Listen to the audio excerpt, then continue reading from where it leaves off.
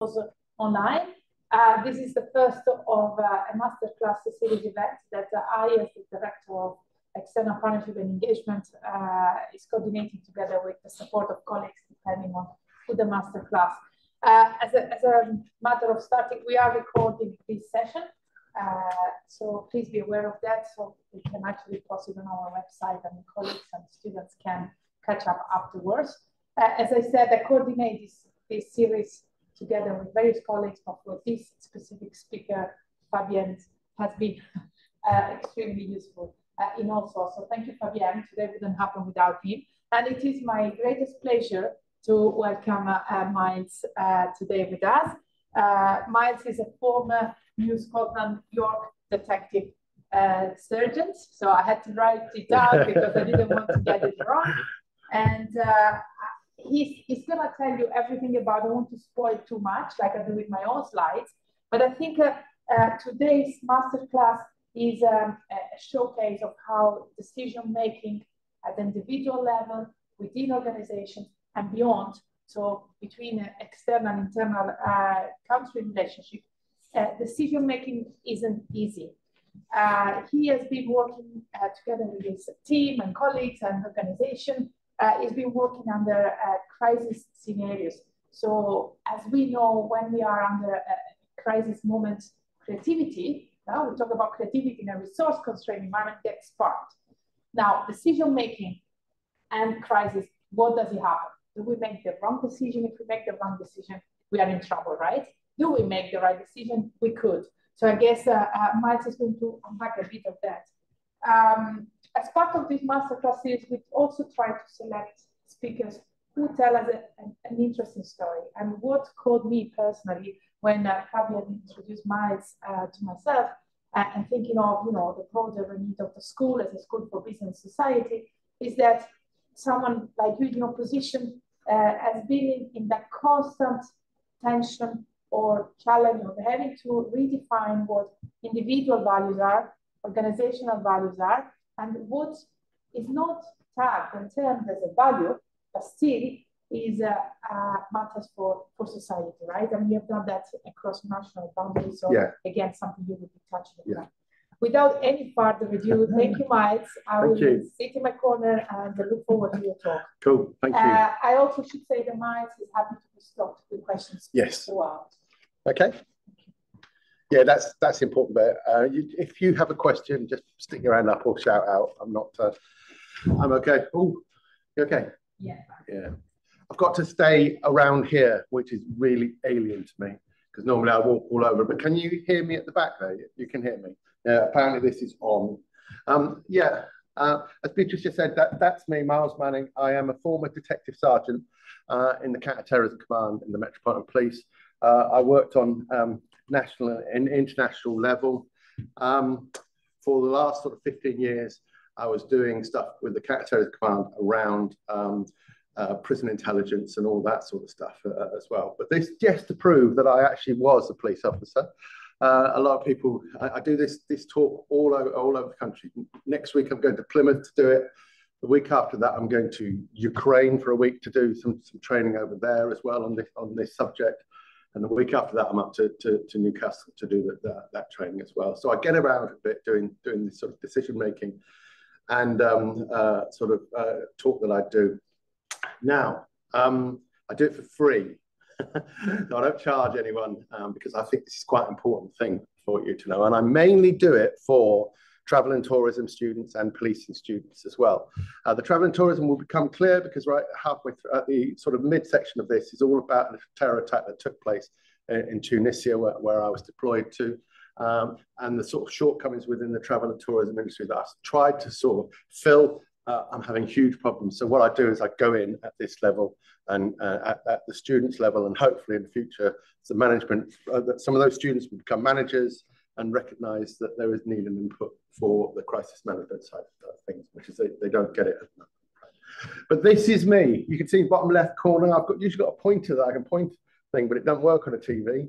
But you see the bottom left corner. If any of you are 21 years old, that's what I looked like at 21 when I was in, in, in the military there. Uh, and then uh, about four or five years later, I did six years altogether in the military.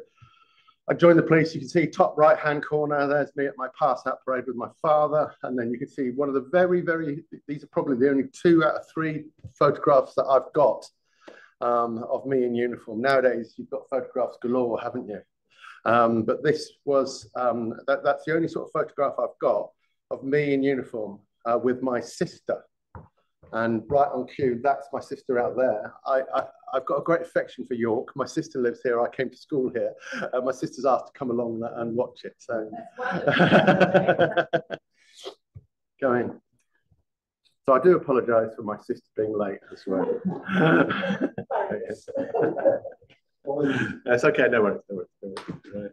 So I've got to the important bit, Deb. So, um, uh, so that's so uh, this is my pass out parade. My photograph there with my sister and my uh, my my nephew.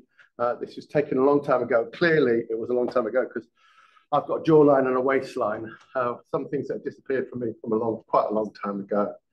Uh, the second photograph to the to, then the photograph to the left of the sort of riot scene or the two riot scenes.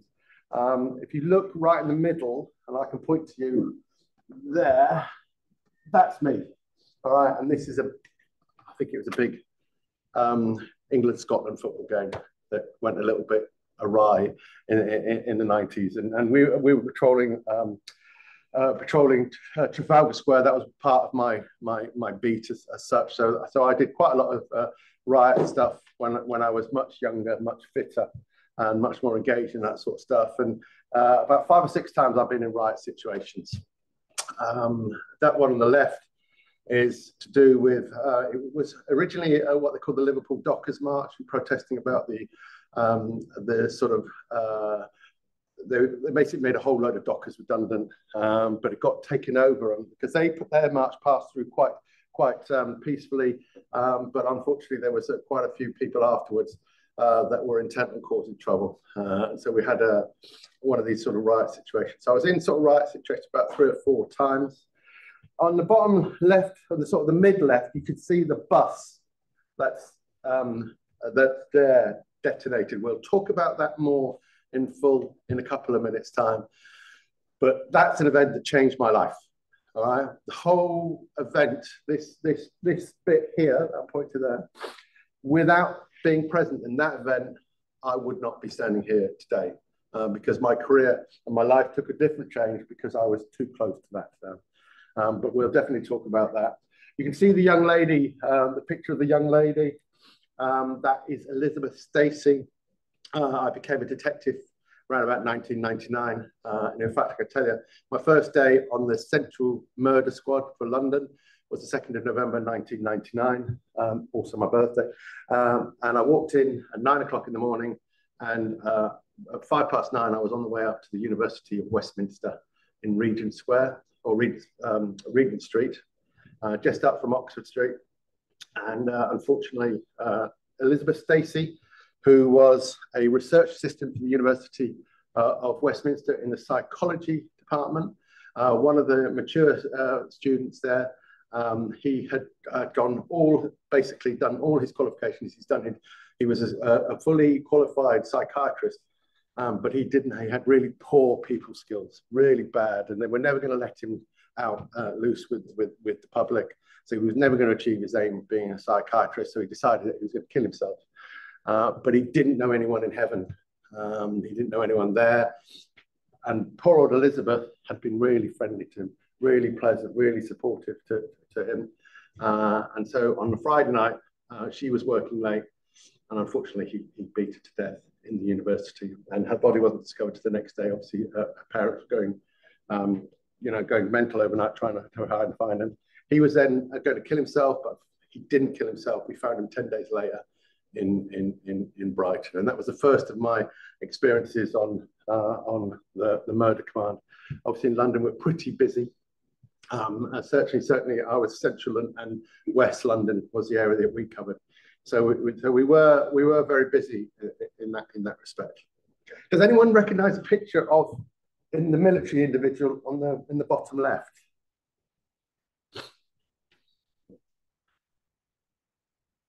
You know, don't you? That's General Galtieri. No, it's not. no, it's General Pinochet. Exactly. That's not General Galtieri. General Galtieri is the, yes, my apologies. General Galtieri is the Argentinian. General Pinochet was the Chilean leader. Okay, he took over the country uh, in a sort of almost peaceful coup, uh, and then unfortunately became quite um, quite tyrannical, and ended up with three or four thousand people uh, just being murdered by his on on his his orders, uh, and he imposed this really rigid uh, state uh, military state there, and it was it was it was it was very difficult for Chileans. Um, he was overthrown eventually, but allowed to carry on living in Chile. He came to the UK uh, when he was uh, receiving hospital treatment. Uh, Chile is very much affiliated with Spain. In Spain, a magistrate issued a warrant for his arrest. I was on duty that day, and the chief superintendent who was in charge of the um, in charge of the station that I was at said, "Have you? Can you drive a car? I've, I've got. Are you trained to drive a police car? You know, and blue lights and two turns and all that." I said, "Yes, governor."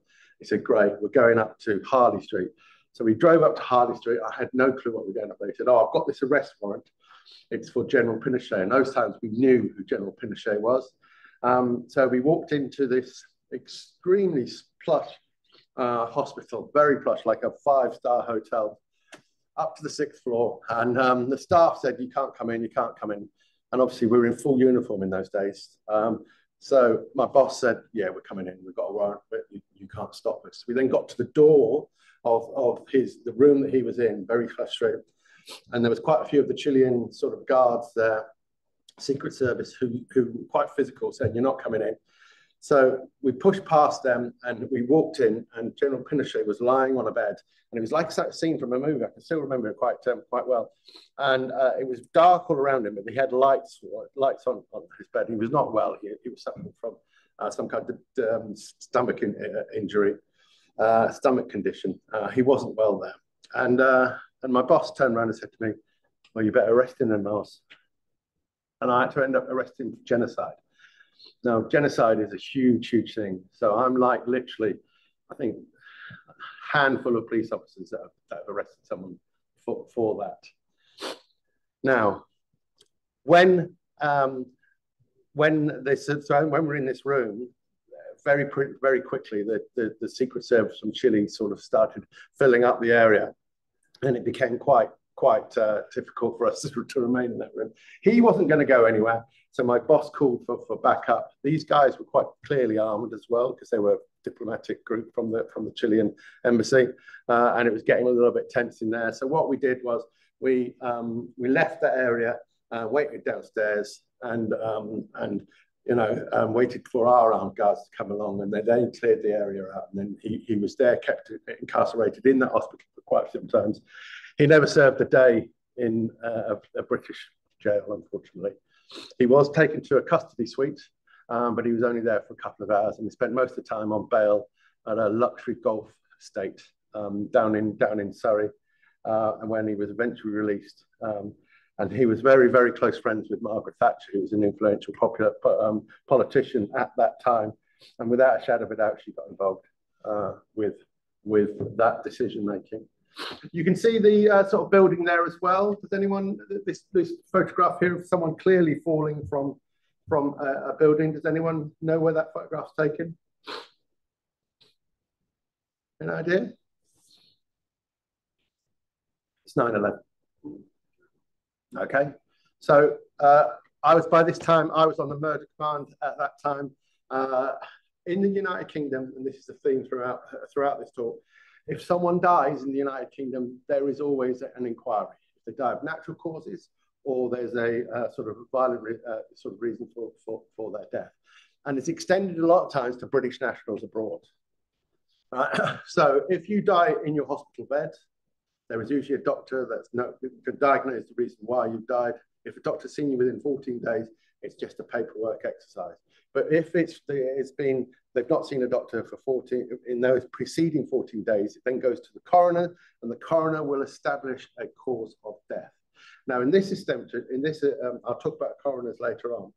On this occasion, what happened was is that there was a, a, a, a man, a British national, had called up, and he had called his wife and said, "It's on fire. I'm not staying in and I'm jumping out the window. So he, he put the phone down and he was never heard from again. So it was decided that we would try and identify him for the coroner's court because the coroner decided that he was going to investigate every single one of those deaths and find out where they died, how they died, why they died. Okay. So for two weeks solid, three or four of us sat in a room and watched video after video after video of people that A were falling or B had, had landed. Right. So that's the kind of detail that, that British policing goes into to establish the death. Um, and we, we managed to find him eventually. That's not him, by the way. Uh, but we did manage to find him and find him identity, and we worked out where he was because the, the building collapsed on top of, of where most of them most of them landed. Landed on a, on an atrium, uh, a, a, um, a, sloping atrium, uh, which was quite enforced glass. Um, so and and there was a lot more than you thought. There was up to about 20 or 30 people decided to go out through the window. So we got involved in that.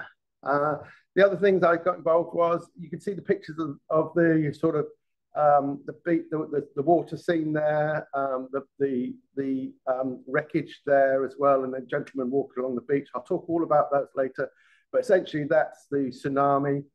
Uh, and then it's the bombing in Brussels uh, in the, on the metro, which I was involved in as well.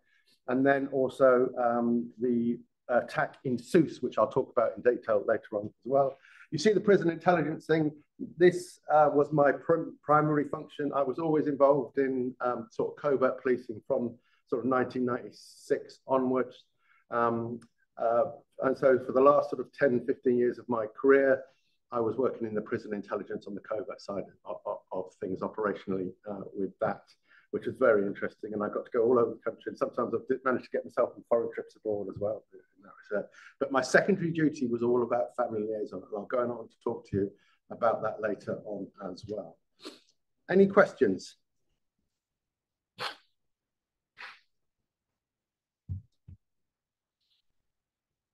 No? Question. So are all these pictures related to your pre-active life? Yeah, then they're, they're, that's my police career. Apart from one, what's the question? What's the picture that's not related to mine? The dog. Why is the dog there? Okay. The dog, that's my dog. All right, that's my little Lizzie. That's when she was a puppy. She's five now. All right.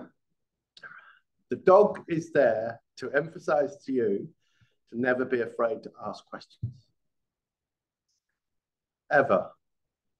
Okay? Uh, every one of you was looking at going, what the hell's the dog there for? All right? No one was asking about General Galtieri. Not General, Galtieri, General Pinochet, sorry. General Pinochet. No one was saying, oh, it's General Pinochet. No one was talking about that, you know. But all of you were looking at the dog going, what's the dog there for? And that's the first sort of thing I want to talk to you about. First thing I want to sort of press upon you today.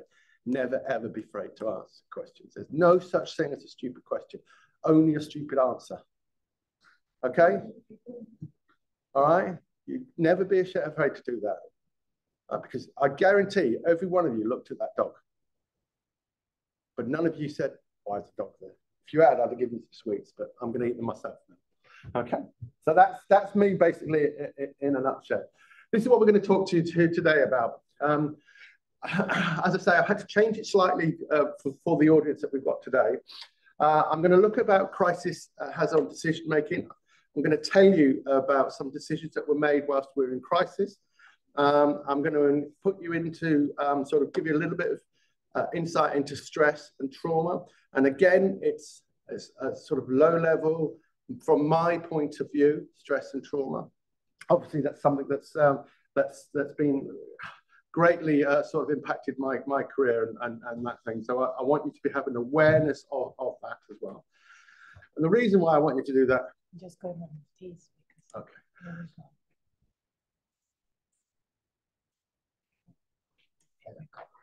Okay, and the, the, reason why I want you to have that as well is because you are all potentially senior leaders, leaders in, in business, whatever field you choose to go in later on, right, you are going to be, be leaders. Um, and notice I say leaders, not managers, because there is a difference as well.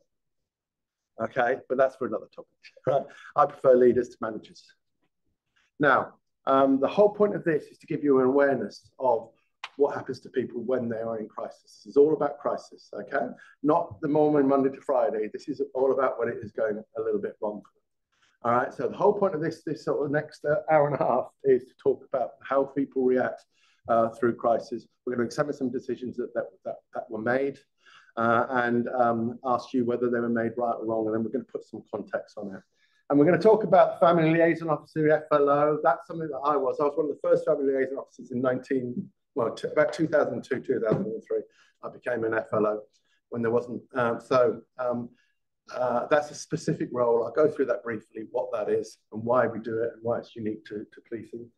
I'll talk about the Foreign and Commonwealth Office, who are now the Foreign and Commonwealth Development Office, so there's, there's a D missing there. Uh, and I'll talk about how they react as well. Uh, and then we'll talk about, so we'll break it into, uh, we'll have a little bit of a break then, and then we'll do a, a resume of what happened to me when I went to Sousse almost 10 years ago, uh, when I took a team of, uh, of family liaison officers to a terror attack in Tunisia, where 38 people were killed, and then what we, and all the problems that we dealt with on that, that day. Uh, and then finally, we'll wrap it up with a bit of an overview of stress and trauma, where I'll try and explain to you the difference between stress and the difference between trauma, and how to recognize it, not only in yourself, but primarily in the people that you work with, the people that you lead. Okay, so I'll be giving you a sort of a quick, non-professional, because I am not a, a psychiatrist or I'm not trained in that, but just from my own personal uh, views from leading teams in crisis.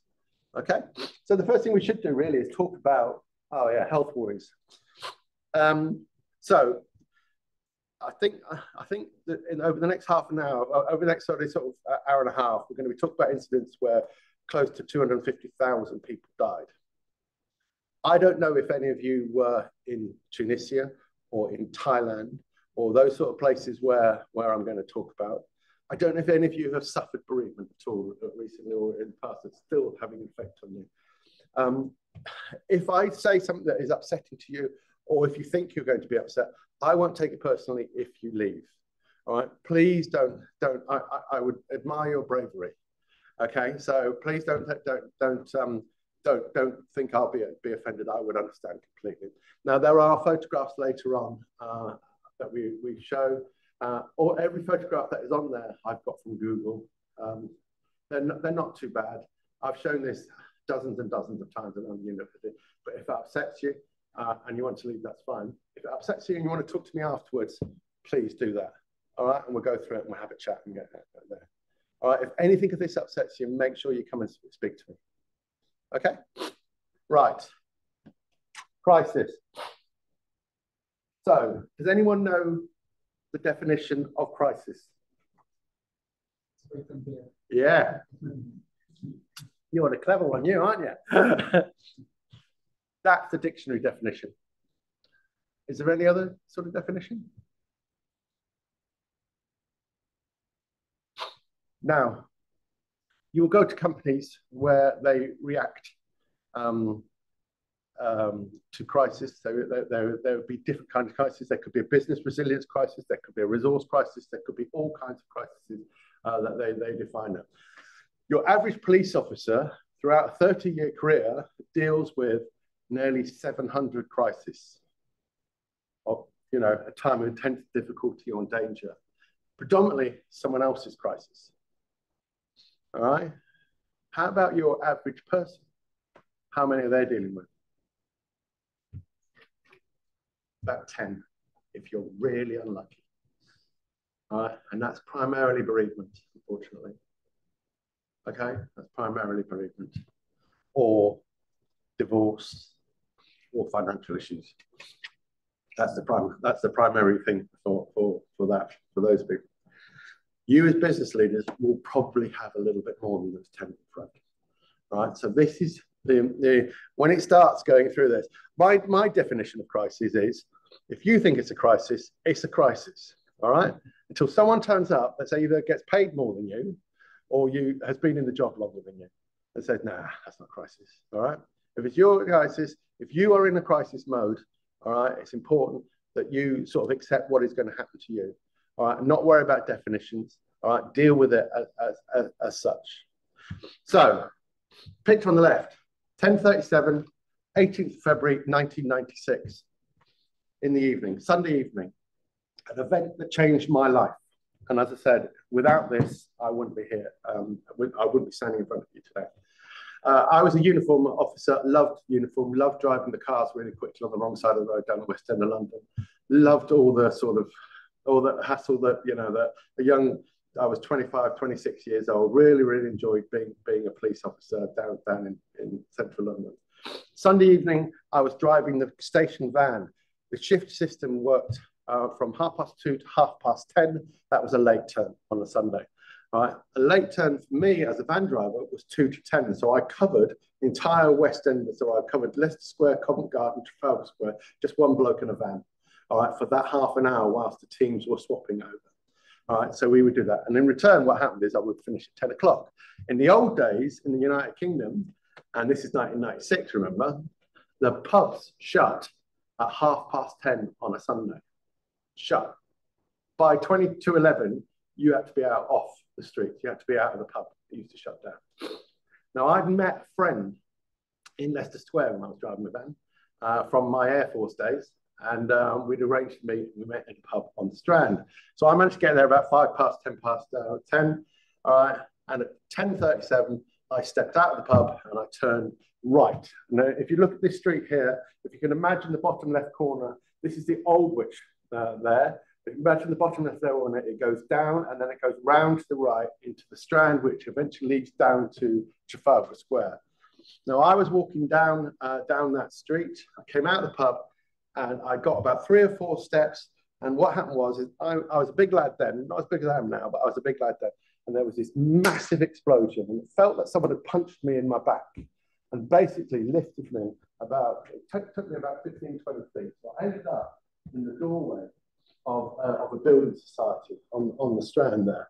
And there was a load of glass, a load of glass came flying across. I thought, oh, right. I landed on top of my friend.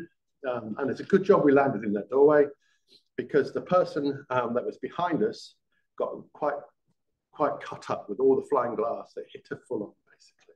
Uh, and she, she wasn't, she was minor injuries, but she was a lot of cuts. I had nothing, nothing. I'm the only police officer on stage here. So I get up and think, right, I've got to do something. So I run round the corner, leave my friend there. I run round the corner and I'm entitled, I see this sign here, uh, this site here. Uh, the London bus is um, parking, heading up towards um, the Royal Courts of, of, of Justice. Uh, and I had seen that bus come across Waterloo Bridge. As I came out of the pub, I saw it to, to, to me there. Now, I got to um, this side of the bus, the left-hand side of the bus, as you're looking looking at now, and it looked like a big bite mark had been taken out of, of, of the of, of the bus. Now, there was a, a, a, a, a terror organisation, an Irish terror organisation called the Irish Republican Army, the IRA, who were conducting uh, bomb attacks throughout, um, throughout uh, the UK uh, at that, that time. And it was a particularly sort of prevalent time. There was, there was quite a few that happened in 1996, 1995, uh, and it all stopped hopefully uh, for the good in 1998 when there was a peace accord. 1997, 1998 when the Good Friday Accord was signed.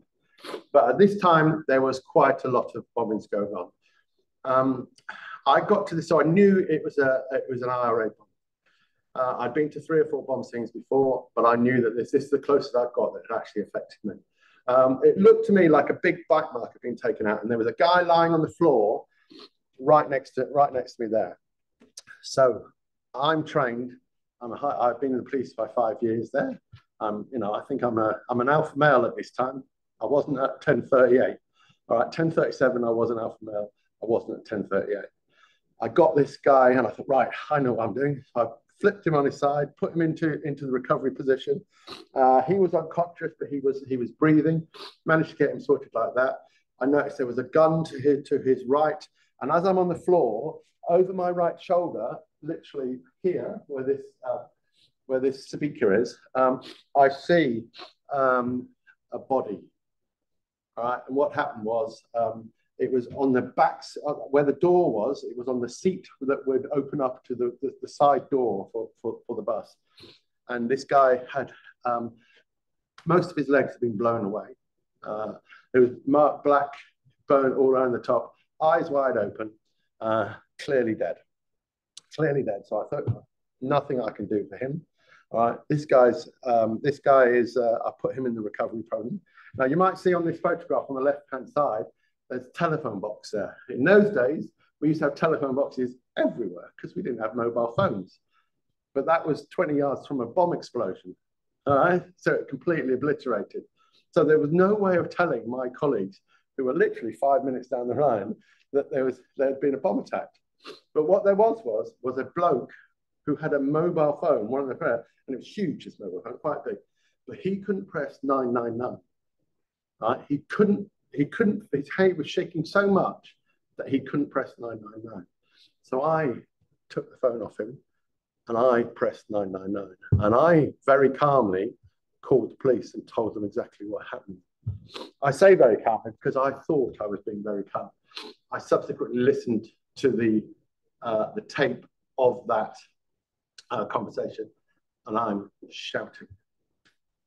I'm I'm getting everything out, but I'm I'm shouting, and not only am I shouting, but I'm repeating things three or four times. I am by no way calm.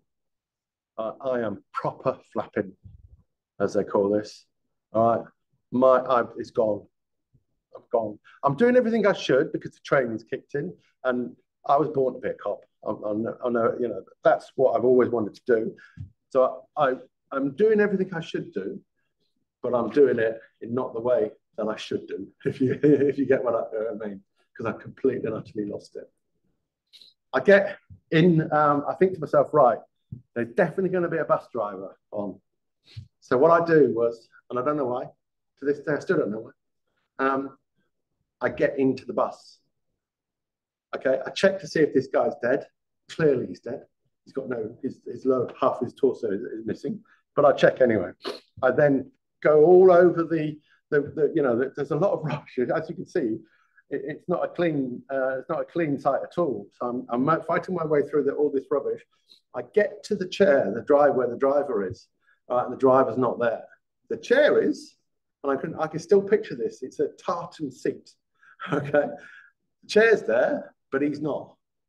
So my head goes, oh, he's blown to pieces. He's gone. He's gone. So then I start trying to get upstairs and see if any people are, are there. And then I hear the police, police turn up. He hadn't actually blown, hadn't actually gone. What happened was he had been out the window and he'd been blown up and he landed by the white van. You see the white van there?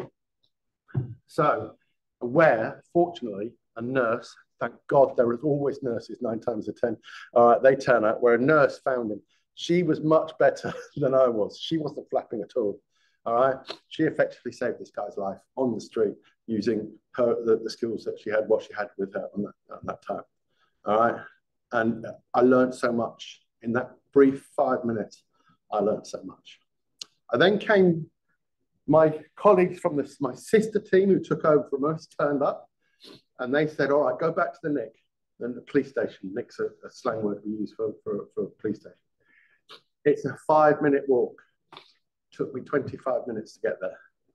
I went missing for 25 minutes because they know, because on the radio log, they say, yeah, my uh, 245 was my shoulder number. 245 is on his way back. Okay, 25 minutes, I've gone missing. They're starting to put, find people looking for me. I have no clue where I don't know what happened those 25 minutes. It's all a blur. Still don't know what happened I've got a vague explanation. So I did a lot, a lot of reflecting. See you later. Thanks very much. I did an awful lot of reflecting uh, in this, in that after this this event. This was the first big crisis for me. Everything had been dealt with before that. I was very confident before this. Very confident. I was out the streets. I was a good street cop. I was a busy street cop. Um, I still was became a busy. I'm still confident in my in myself but I'd been found wanting in that respect. I'd done everything right, but not in the way that I should have done. I don't think I was as professional as I was. I don't think I was as calm as I was. So I began chasing these things. Uh, and for the next 30 years, when it was all going wrong, I wanted to be there uh, because I wanted to do it better than when I first did it the first time. Does that make sense?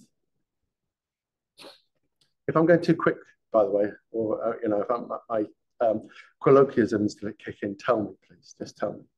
Right, so that is um, that is a, a, crisis on a national level.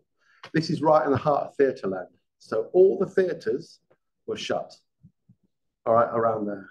Can you imagine the amount of tourists that come to London to go to the theatre to to to to watch the shows and? They were shut for four days. It was entirely shut down. Uh, this was in those days a main thoroughfare linking the north and the south of uh, south of London. That was shut. Big hotel, Strand Palace Hotel, is just beyond the white building there, uh, the white van there. That was shut. All the businesses around it, all shut. These are banks. The top of these, these on top on the first floors there, you can see they're banks principal financial businesses, but the, the, the, city is literally half a mile away. And these are where a lot of their um, crisis rooms were, were based, shut.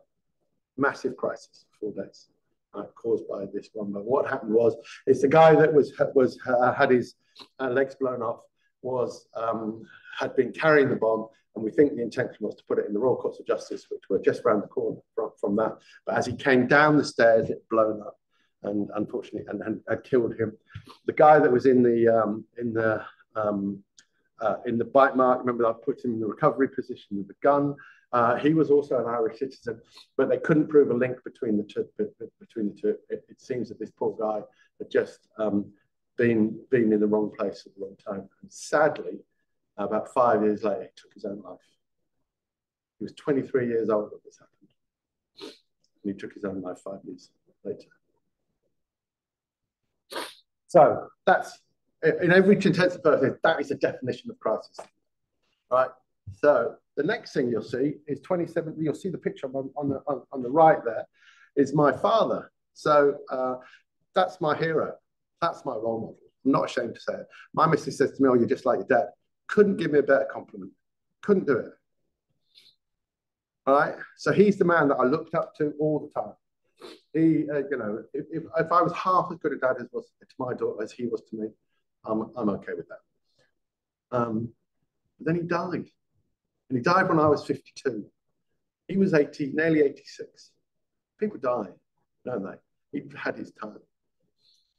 And I knew he was going to die. Uh, I didn't know he was going to die that night because unfortunately he died on his own, but he did. But he did die. And we dealt with it. I'm, I'm now, by this time, I'm very project focused. I deal with the issue. I, I turn everything into a project, and I deal with the issue. So let's get in, let's get the funeral sorted out.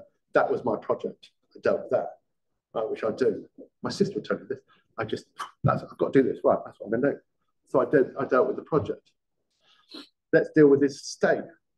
That's what I did, because that's the problem that I've got to solve. All right. What I didn't deal with was my internal trauma.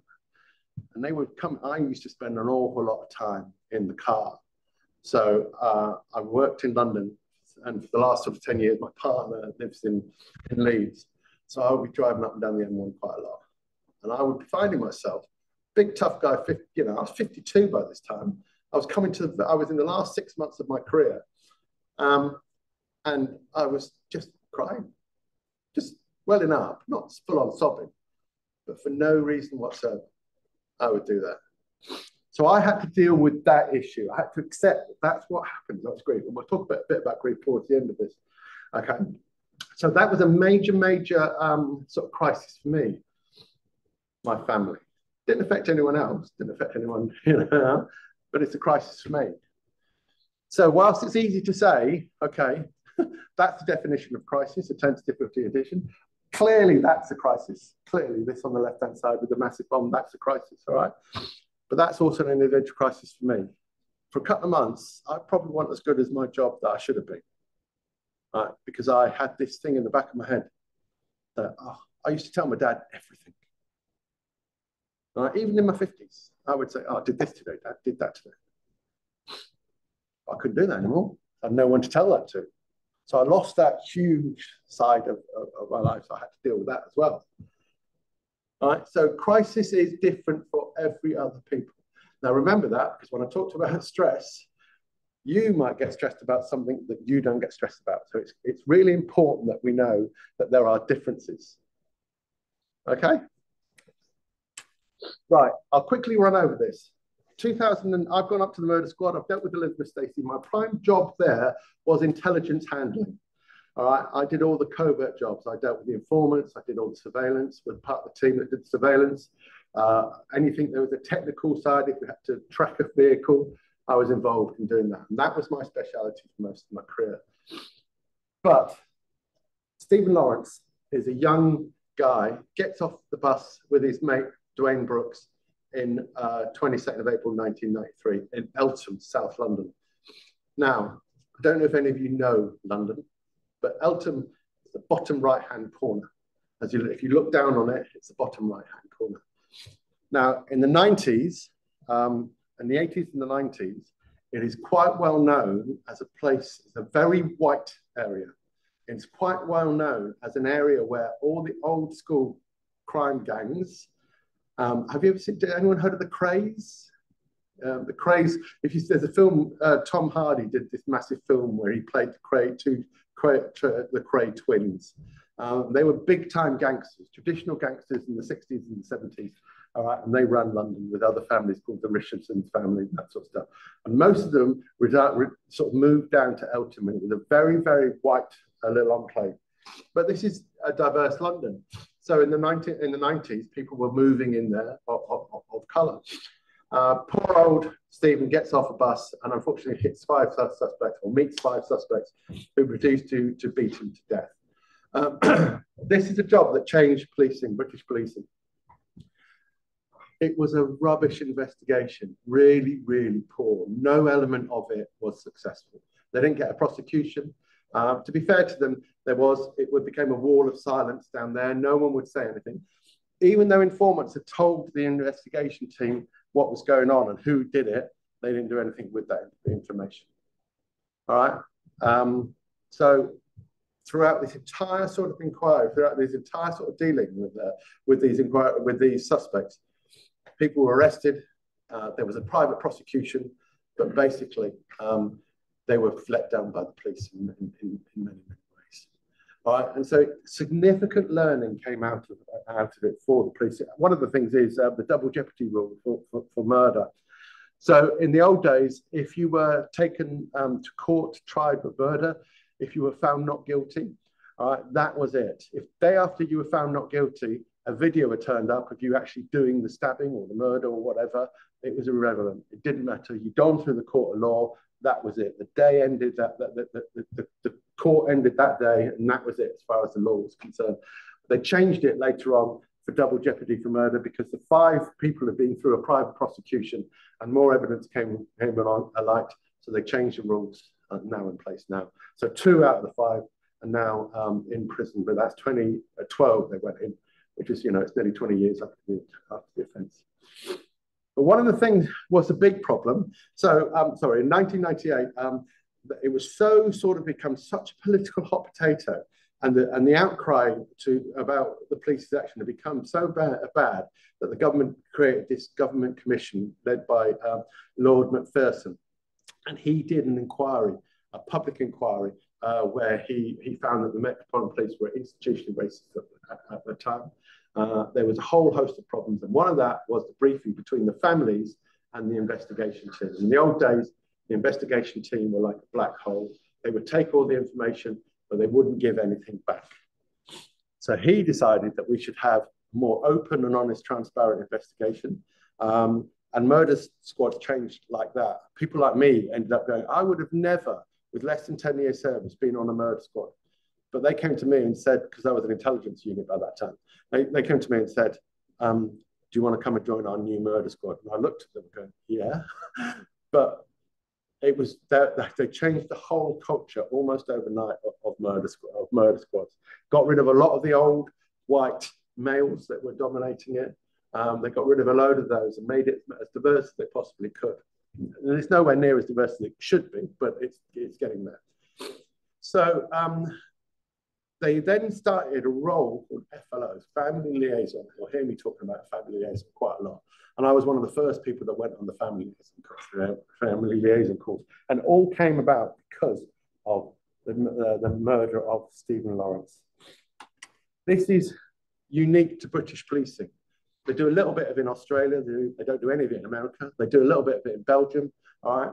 But this is unique to British policing. If you are um, in the UK and your, your, one of your loved ones uh, dies in a murder, manslaughter, it's now been extended to road traffic or a mass casualty disaster, you get a family liaison officer. And it's usually, as it says there, a detective constable. So the bottom rung.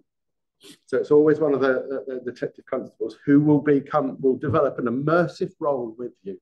You can see at the top there, it says it's an over investigator to support the senior investigating officer. SIO is senior investigating officer. Now, the reason why it's over is because the FLO will never do anything. They never put bugs in your house. They never lie to the to the to the family that they are dealing with. They do that. That's really important to, to, to the to the role, and it's really important that the families know that as well, because sometimes you are dealing with uh, criminality, criminal criminals who have lost their lives, and we're dealing with a criminal family who are fully aware and actually engaging in that criminality as well. Right, and it might be that they've been taken out by another opposing gang. Right, they need to know that they're getting the information and that that, and that officer is not conspiring against them. Right, so that's why it, it's over. That's why it's a detective because the detective is sitting there going, "I think you probably know more than you should." A lot of times, the family know what's actually went on because they hear it from various other sources outside outside policing. So they can feed that back through into through to the family liaison officer if they've worked up a really good relationship, which they should be.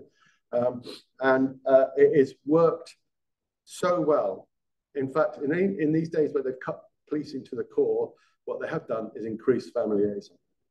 Right, the family liaison officers uh, are, are, they're all over the place now, fortunately. And I was one of the first. You can see there um, they, they gather evidence from family in a way that contributes to the investigation. Up on the top right, on the second um, par paragraph, the second sort of column, you'll see ante-mortem data, DVI, which is um, disaster victim identification. That's something that the family liaison, uh, family liaison officer deals with, and I'll talk about that later on as well. But they are regularly, they, are, they become the mouthpiece for the family. They're the ones that say, well, right, what are your concerns? What do you want us to do? Is there anything that is really bugging you? And they'll go back to the investigation team and try and find an answer, and then take it back to, to, the, to, to the family. So they are the one single point of contact. So the message that is flowing comes from one person, as opposed to numerous sources. Communication is a huge problem during, during crisis, massive problem, because too many people's voices are involved. All right? Cut the chatter. Cut out all that white noise around. All right, get the communication flowing better, and the crisis will be managed a whole lot easier. Get, to, get a command structure in place if you have to. That's what we do in the, in the police. We get a gold, silver, bronze command, but we've got three levels of management. Uh, we've got the gold making the ultimate decision, silver managing the strategy from, from, um, from, from the gold, and the bronze commands they're the ones that are actually doing the running around. All right, so get that sort of structure in place and reduce the amount of dodgy comms that's coming through. Okay, work out a common strategy as well, because communication is the art of dealing with crisis. Okay, if you manage your comms properly, you'll manage your, your, your crisis better. So you also see that we've got an audio audit trail. We write everything down. Okay, does anyone remember the picture I showed you a couple of minutes ago? I, I showed you a picture of my sister, and I, I told you where it was, where that photograph was taken. Anyone remember? What about the dog? Remember the dog? Remember the dog's name? No. Izzy. so you can remember that, don't you? So you remember the dog's name. So what I'm saying is, I told you that five minutes ago. Write things down. Seriously. In community, and when you're in this sort of crisis mode, you're in that, write things down. Because six years down the line, when someone who, one of your employees is taking you to court, right, because of something that you said you did on that time, all right, you've got a record, you've written it down on the day, contemporaneously, they call it. All right. And that is worth the weight in gold. So have a day book. You know, if you see someone carrying this, they are guaranteed to be a police officer. All right, because they get these for free. Police like free stuff. Okay, and they write stuff down in these. These are day books. Most cops, detectives, have one of these. I've got these going back for the last 10 years. I can tell you what I was doing in 2012 by just going through that. Tell you what I was thinking in 2012. All right, so write stuff down because it will pay off. It might seem like a pain, but it will pay off in the long run if something goes wrong. If it's okay. So that's the basic duties of FLO. Secondary to us. So I was I was in the intelligence world, but when they didn't need me uh, to do any of my sort of intelligence stuff, I became a family liaison officer. So I'll deal with, with, with that. Right. My life then changed again. Sorry. Yeah. No, don't, don't apologize. Yes. Oh, yes. Bullet point it. Bullet point it. Yeah. So if I go in to meet you, okay, let's. I'm your family liaison officer, and someone near to dear to you has, has, has that. I will walk into that day write down what you're wearing. Okay, I'll write down where you were in that room. Only in bullet points. I'll write down what, what time we started talking, where we were. So I'll write that down. And then I will try and remember everything the exchange that was said before between us. If I can get it in direct speech, I'll do that. All right. So what we normally do is we send two family liaison officers. So one is doing the talking, right, and the other one is surreptitiously doing the writing. All right. So that they might so so they they they they're also identifying any sort of risk factor. So you might something might say something that might pose a risk to the investigation or to the to, to the relationship between us and you. All right. And so we're trying to identify. That's why they're experienced detectives. All right. So they're trying to identify any risk there. And as you go through your career, I'm so risk averse. I if I go into a pub, all right, I will not sit with my back to the door. You can always tell cops. You walk into a pub all right. The bloke that looks up to you or the lady that looks up to you, cop, put my pension in it. All right. Because they're all that, that, I'm so risk aware. Drives my missus mental. All right. Because I'm, I, I have to have a look at that. I have to know what's happening towards me. So that's the risk awareness kind of kind of thing. And by writing it down, there's an old saying in the law, and it's, it's, it comes about from Stephen Lawrence actually uh, Stephen Lawrence, when, when they finally prosecuted the Met, right, they got a whole load of police officers saying, oh yeah, we did this, we did that. And the barrister said, okay, where did you write this down? Where did you record it? And oh, we didn't record it. Well, how can you possibly remember what you did five years later? But if you've got it written down and it's just bullet points, if you've got, if, if we have a meeting that lasts two hours and I've just got half a page, that now, oh yeah, I can refresh my memory on that. And they cannot complain about the content of those two hours. If I said to you, she said this, she said that, she said that, even if it wasn't recorded in here, because you've got that written down, it, it, it affects your um, ability to sort of recall, okay, positively. The law, the adage in the, in the law is, if it's not written down, it didn't happen. Okay, so write it down, record it on your email, send an email to yourself if you have to. All right, do something, but just record it because these things that it's the least one, the one that you think is easily solved, the one that you think you've you've taught, done and dusted. That's the one that will come back and bite you. All right, so uh, the whole scenario, write down bullet points, but just make sure you record it.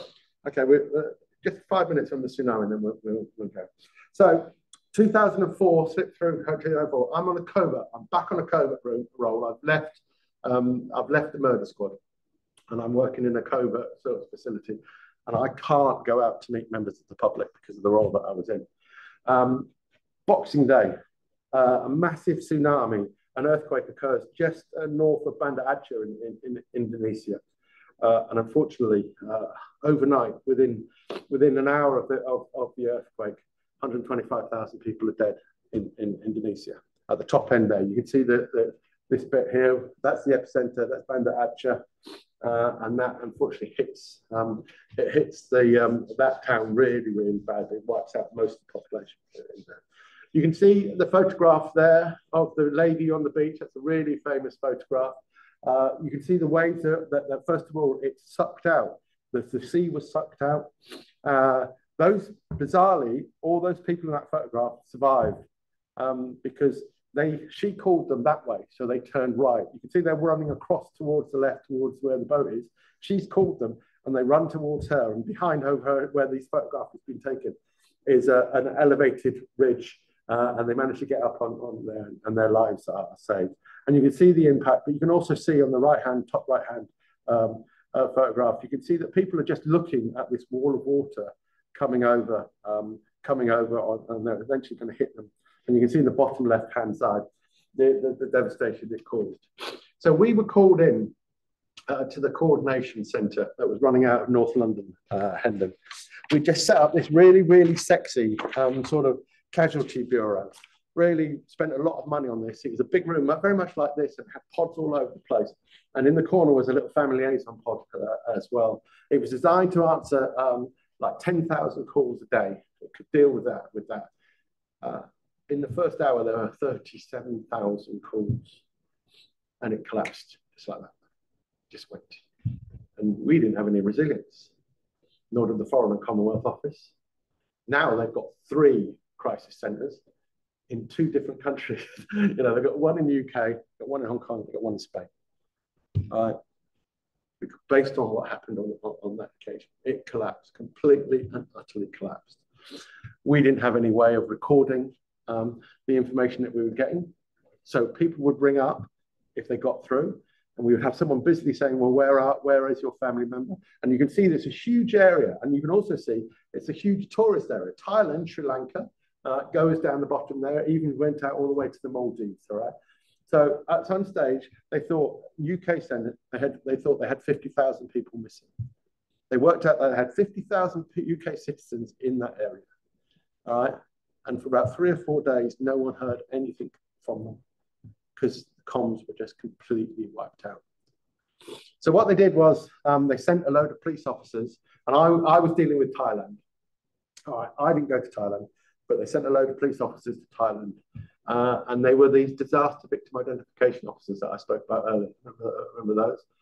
Uh, and they were basically there to, friends, to identify the individuals uh, and repatriate their, their, their but they got to, um, to Bangkok and the infrastructure was so broken down that they had to stay in the hotels for five days. So for five days, the people on the coast here that had been impacted by this were on their own. There was a huge amount of devastation. There was an awful lot of bodies about, unfortunately. So the bodies were picked up originally and they were taken to a temple. So the temple, so uh, it's a, a, Buddhist sort of uh, religion in, in, in, Thailand, and they've got these courtyard temples. So they were putting them very respectfully, putting them on, on there. Right, but it's hot. It was in the high summer. It was Christmas Day. This is Boxing Day. This is It's very warm there.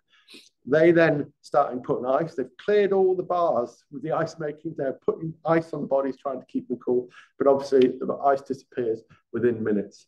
So they decide we're going to have to do. Sorry. Good question. Yeah. Yeah, Yeah, yeah. Is there a difference between crisis and emergency concept? There will be, all right. But I go back, to, that's the problem in my eyes, that people make it a little bit more complicated than it should be. My basic understanding is if it's a crisis, you think it's a crisis, and we go through what I'll tell you, and uh, it's a crisis. There will be a difference between the two. All right. Now, but emergency management is usually around pre-planned events. It's around being proactive in planning for, you know, for all kind of scenarios. Whereas this crisis is just responding as, as, as it is. It's a reactive, really. Okay. Anyway, um, where were we? Oh yeah. So the bodies. So they then decided to take the hospital. Hospitals were full. Couldn't take them. They were piling up these bodies. So what they did was they dug two holes. So they dug one hole and they put, and excuse my language, it might be a bit clumsy, but this is my the way I probably deal with it. Uh, and they put um, the white people in one hole, and then they dug another hole, and they put the non-white people in that hole as well. So now, here, nearly 20 years later, good decision or bad decision? Who thinks it was a good decision? Who thinks it was a bad decision?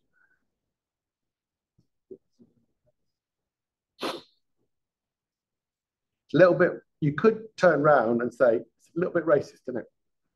Why are all the white people in one hole and all the non-white people in another? They were all done. I, I would immediately say, oh, it is, why would they distinguish between on those grounds? But it kind of makes sense to say that the white people probably weren't from there, so they would need to be identified by. About a bag of sweets, hadn't even you'd have gone. Spot on. All right, first of all, the person that made the decision had been through that. Okay, they'd been through that. Undoubtedly, they would have lost someone without a shadow of a doubt. Okay, their decision was those people, Thai culture is very much about guests. Most of Southeast Asia is about that. Most about, about guests looking after the people that visit their country or looking after people that visit their house. All right. And it's exactly for that reason. They knew the people in that pit were probably going somewhere very quickly. All right. Whereas the people in that pit would be dealt with as and when they can. They. Because they knew that there was hundreds of peace officers sitting in, in Bangkok waiting to deal with the people in that pit. Which is a problem because there was quite a few British nationals in, in, in the other pit as well, because obviously you can't tell what people's nationality is just by looking at them. So anyway, so what happened was is um, there was this free for all. At some stage, they said, right, yeah, come and get in. So we they went along to the pit. This is a collection of police forces: Germans, Australians, Americans, Danes, Japanese, English. They're all there. They went along and they took out the pit and they went, oh yeah, clearly American, flying back to America. Clearly Australian, send them back to Australia. And the problem is when they got to America and Australia, they weren't American. They weren't Australian. All right.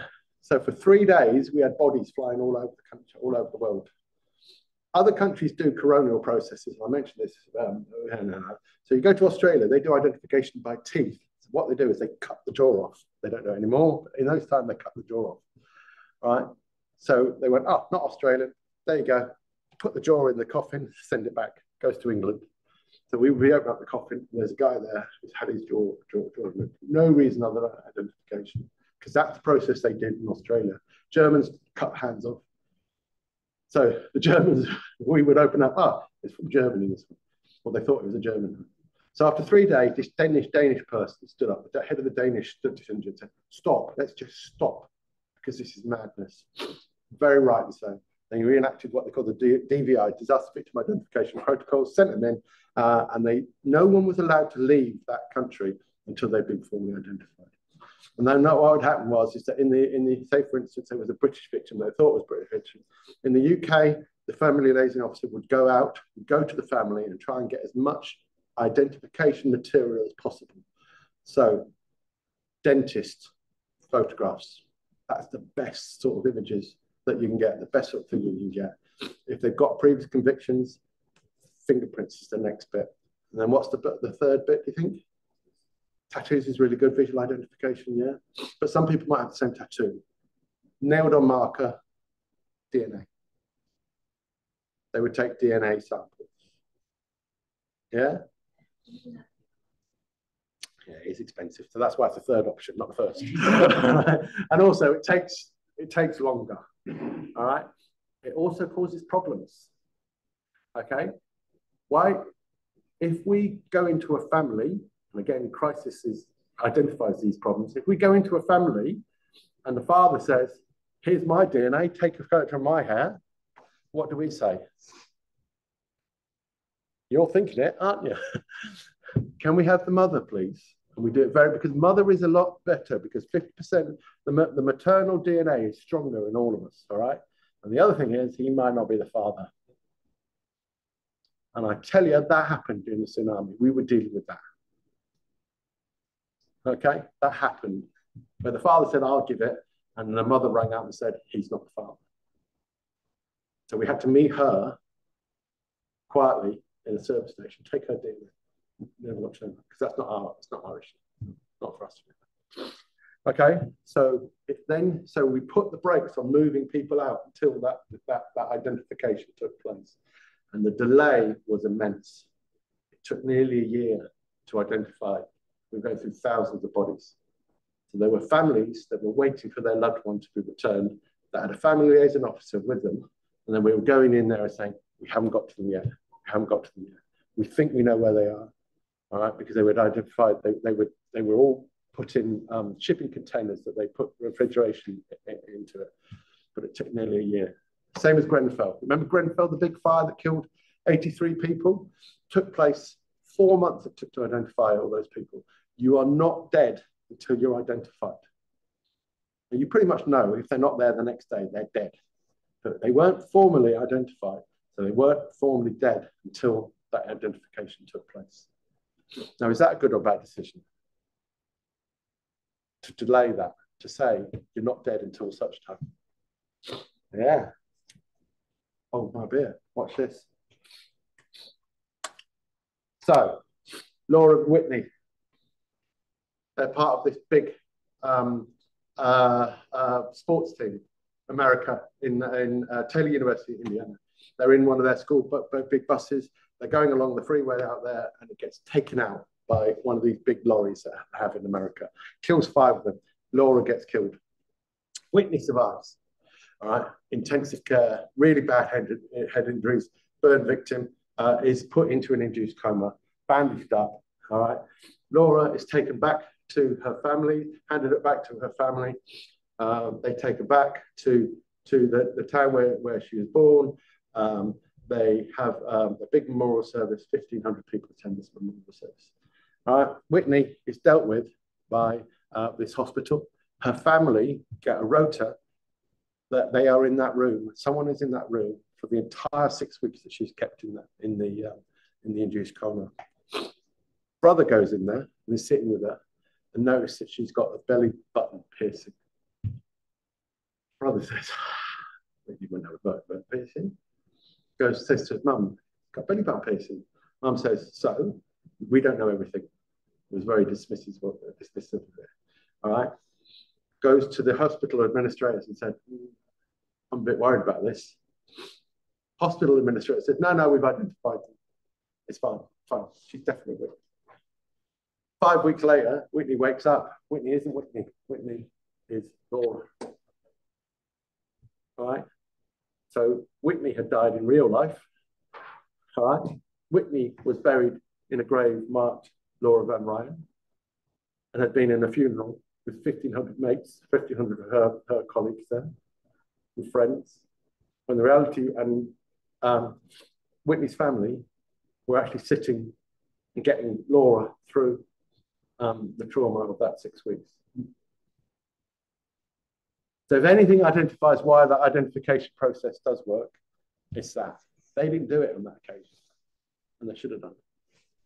So the rules are now, if there's three people that dies, all right, it, it's now called a mass casualty event, okay? And if it's three people, the bodies do not leave until that person has been informed. They don't leave the custody of them. When you die, what happens to your body in the UK? Who owns your body? The state. It's true. In other cultures, families. In, in us, it's the state. Okay, so should we have five minutes? Do you want a five minute break because we started? We have 15 minutes till the end of the talk. Do we? And then we oh, is that the time? I thought it was three. Yeah. 45 minutes till the end of the talk. I thought it was three that we. Yeah, Q&A. Ah, yeah. It's, it's a shame if we don't have Q&A, so I would hope to have yeah, I close by 40. Oh. 240 and then a Q&A. Yeah. Oh, I thought it was two. Your, your last slides are. Oh, you want to go now? Okay then. All right then. Okay, so well, tough Can I have then. a sip of drink? Yeah, have a sip of drink. have a break. Yeah, that's my part. I'm okay to carry on. It's them that I'm worried about. Oh, that's fine. I think I've done this. I- Does anyone want a break? Anyone use the loo or? Sorry, I thought it was three o'clock to half yeah, three. including Q&A. No, no. Oh. So one to three altogether. Oh, Yeah, the half hour at the end is just for okay. the case. Yes. All right. All right. All right. we'll quickly go through this. Suits. All right, 2015, I'm now Detective Sergeant. I'm on counter-terrorism car. I've been Detective Sergeant for about 10 years by that time. I've been on a counter-terrorism car for some while, working in prison intelligence. But my secondary duty is family liaison. We'd had attacks in, in Algeria, we'd had attacks in Kenya, um, where I dealt with the families but hadn't been allowed to deploy over in the situation, over in the actual scene. And I would be saying, why can't we go? There's all kinds of issues going on in Kenya, all kinds of issues going on in Algeria that, that we could have dealt with. Um, and we had to deal with them back in the UK, which was not satisfactory. 26th of June 2015, around midday Nigerian time, I was in Hemel Hempstead train station. All right, I got a telephone call. Hemel Hempstead is just a small town just outside London. All right, and I've bunked off early because it's a Friday and I'm a detective sergeant, so I can do that. All right. And I'm going up north to see um, my partner, Catherine. Telephone call. I look at it and go, oh, God, shall I answer it? Because I'm an idiot. I answered it. I didn't get home for three weeks. Okay. That call told me that this attack had happened. Right. So I pretended that I was elsewhere. I managed to jump on the train, and get back. No one knew I was in Hemel Hempstead until and that I decided to bunk off early until I left the police. Uh, so we did that. Arrived at arrived at um, back at uh, back at New Scotland Yard at, at, this time. And what happened was, is if you look at this this um, this map here, uh, you can see at the top is Tunis. You can see there, Tunis is at the top there. Halfway down on the right hand side um, is uh, Sousse. This sort of around there, there. And then there's airport Monastir and Al Hamat. Their airports are there. Quick thing about um, about Tunisia, it's got uh, about 11 million people in it. It doesn't it doesn't sort of extend south enough for it to get the riches that Algeria and Libya have got from oil. So it relies on tour, tourism. Uh, uh, it's a very, very democratic uh, town, a very democratic country. You can't be in power if you're military or religion. Right? You can't be a politician if you're attached to any military or religion parties, you're not part of it. So for that reason, it is often attacked from by ISIS in, in uh, who are uh, in Libya at the time. Right, so there have been a few attacks in the past in, in there, one in, in Tunis in, a, in a, a, museum there that killed 24 people. And on the 26th of, of um, February, on the 26th of June, sorry, 2015, this guy here uh, walks out and, and with his Kalashnikov uh, executes 38 people, 32 were UK um, citizens.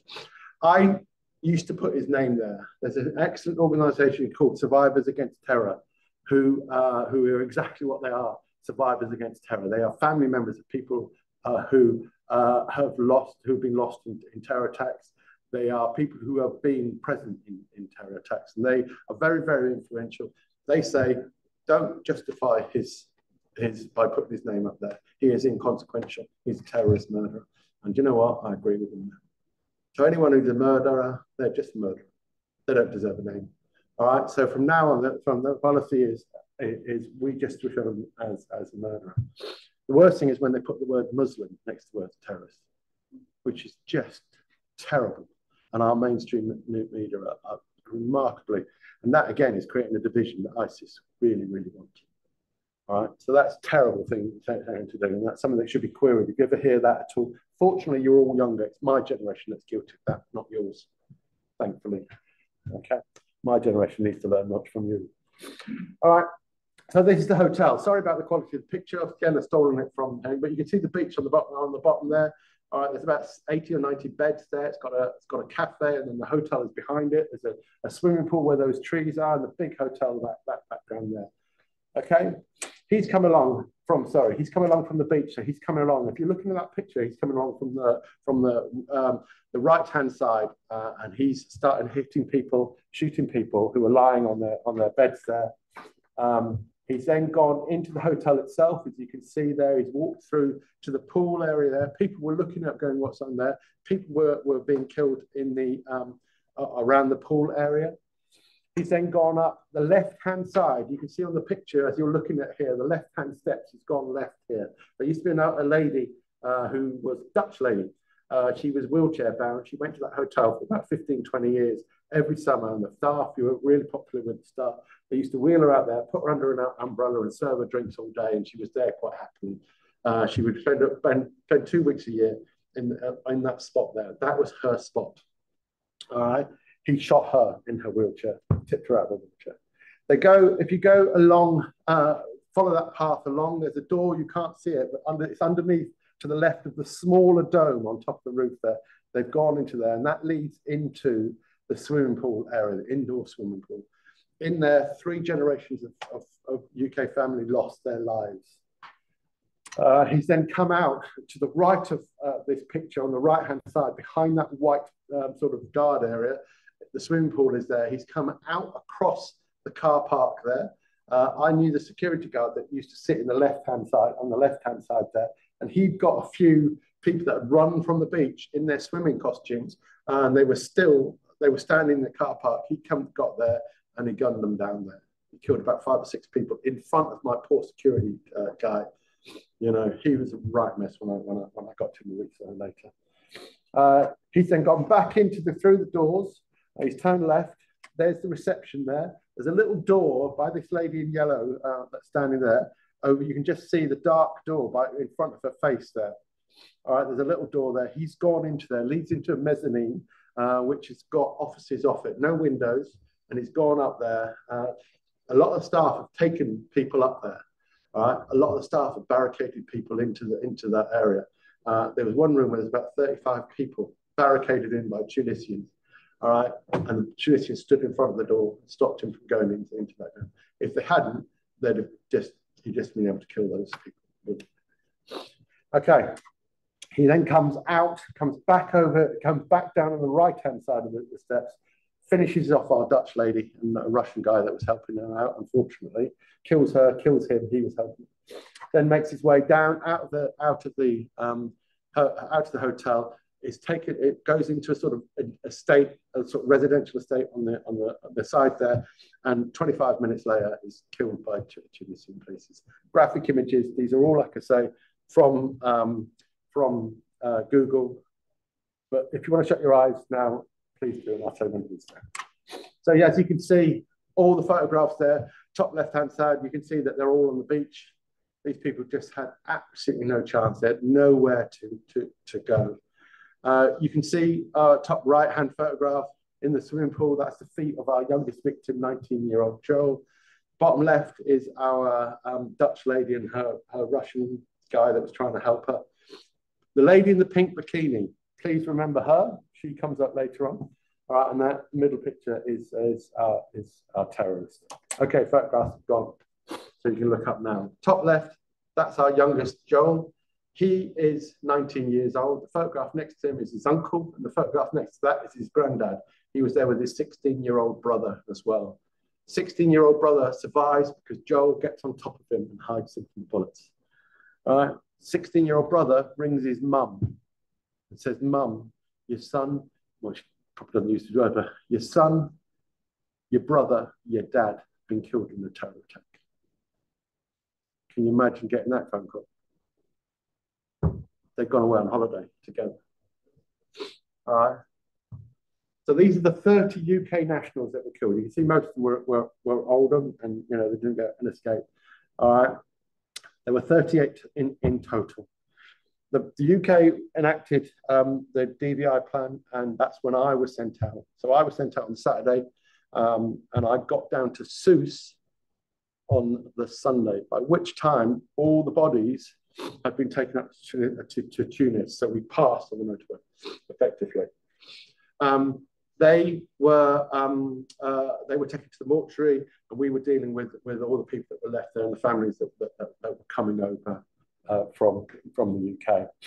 So it was decided by the Tunisians that the identification they would do would be physical identification.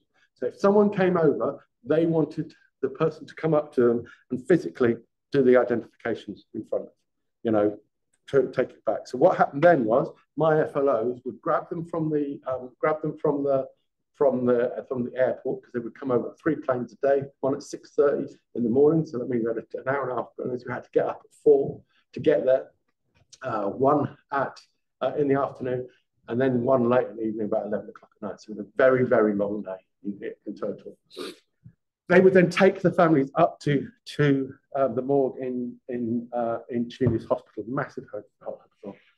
This is when I went there. I took this photograph on the right there when I could do hear I, the smell. Okay? Because they didn't have the ability to cope with 38 bodies additionally. In Muslim culture, very quickly the bodies have moved through because the families look after um, the body much more so than we do in the UK. We leave it all to a funeral director and they could be there gone weeks, but the families are very, very, very much involved in, in culture. They could not cope with this situation. My family would walk in to this, into, into that building. They were then made to sit in an office and wait until a, a member of the government turned up, said how sorry they were. Um, and then they were had to go to another room uh, where they had a DNA sample taken from them. I had the, the son-in-law of one of my victims had DNA sample taken from him. There's no way they're not family, they're not related. But despite the fact that we were saying there's no relation, they still took the, the DNA sample from him because that's what they had decided that they were going to do. Good decision, bad decision. They were in crisis. Terrible decision. Terrible. No, it doesn't matter. I can't justify that decision at all because it traumatized my, my family. Right, they've then gone in. The next thing they've done is they've gone to, into another room and there's Polaroid, 38 Polaroid photographs of people lying on that table there on the left-hand side. All right, and they said, which one's yours? And they basically had to identify that person from there. And then sometimes about an hour, two hours later, they were then taken into, into a, a, uh, an identification room where all the other bodies were. So they were walking past 30 other bodies to this one table where the person was. To be fair to Tunisia, it happened to me in Belgium as well. When I was in Belgium, Belgium did exactly the same thing. They took us through the morgue where people were doing autopsies to try and get to take us to a um, to, to a chapel of rest where our body was was was laid. Right, but it was absolutely tra traumatizing. I talk about re-traumatizing. This is re-traumatizing. Okay, this is re-traumatizing. Um, I'm going through this very quickly because we've already got things, but the issues I faced, cultural differences. I had a team of four. Two guys were of Muslim uh, descent, two females. The two guys, it was Ramadan, so uh, we couldn't uh, we couldn't get any food. That was a big issue. The two guys were observing Ramadan, but they then stepped out of it. You can, uh, in, in they told us in, in Muslim culture, you are allowed to step out of it. So they became, because they couldn't effectively work because they wouldn't have been eating or drinking their entire time. So they stepped away from, from, from Ramadan. They didn't observe it during the week that they were there.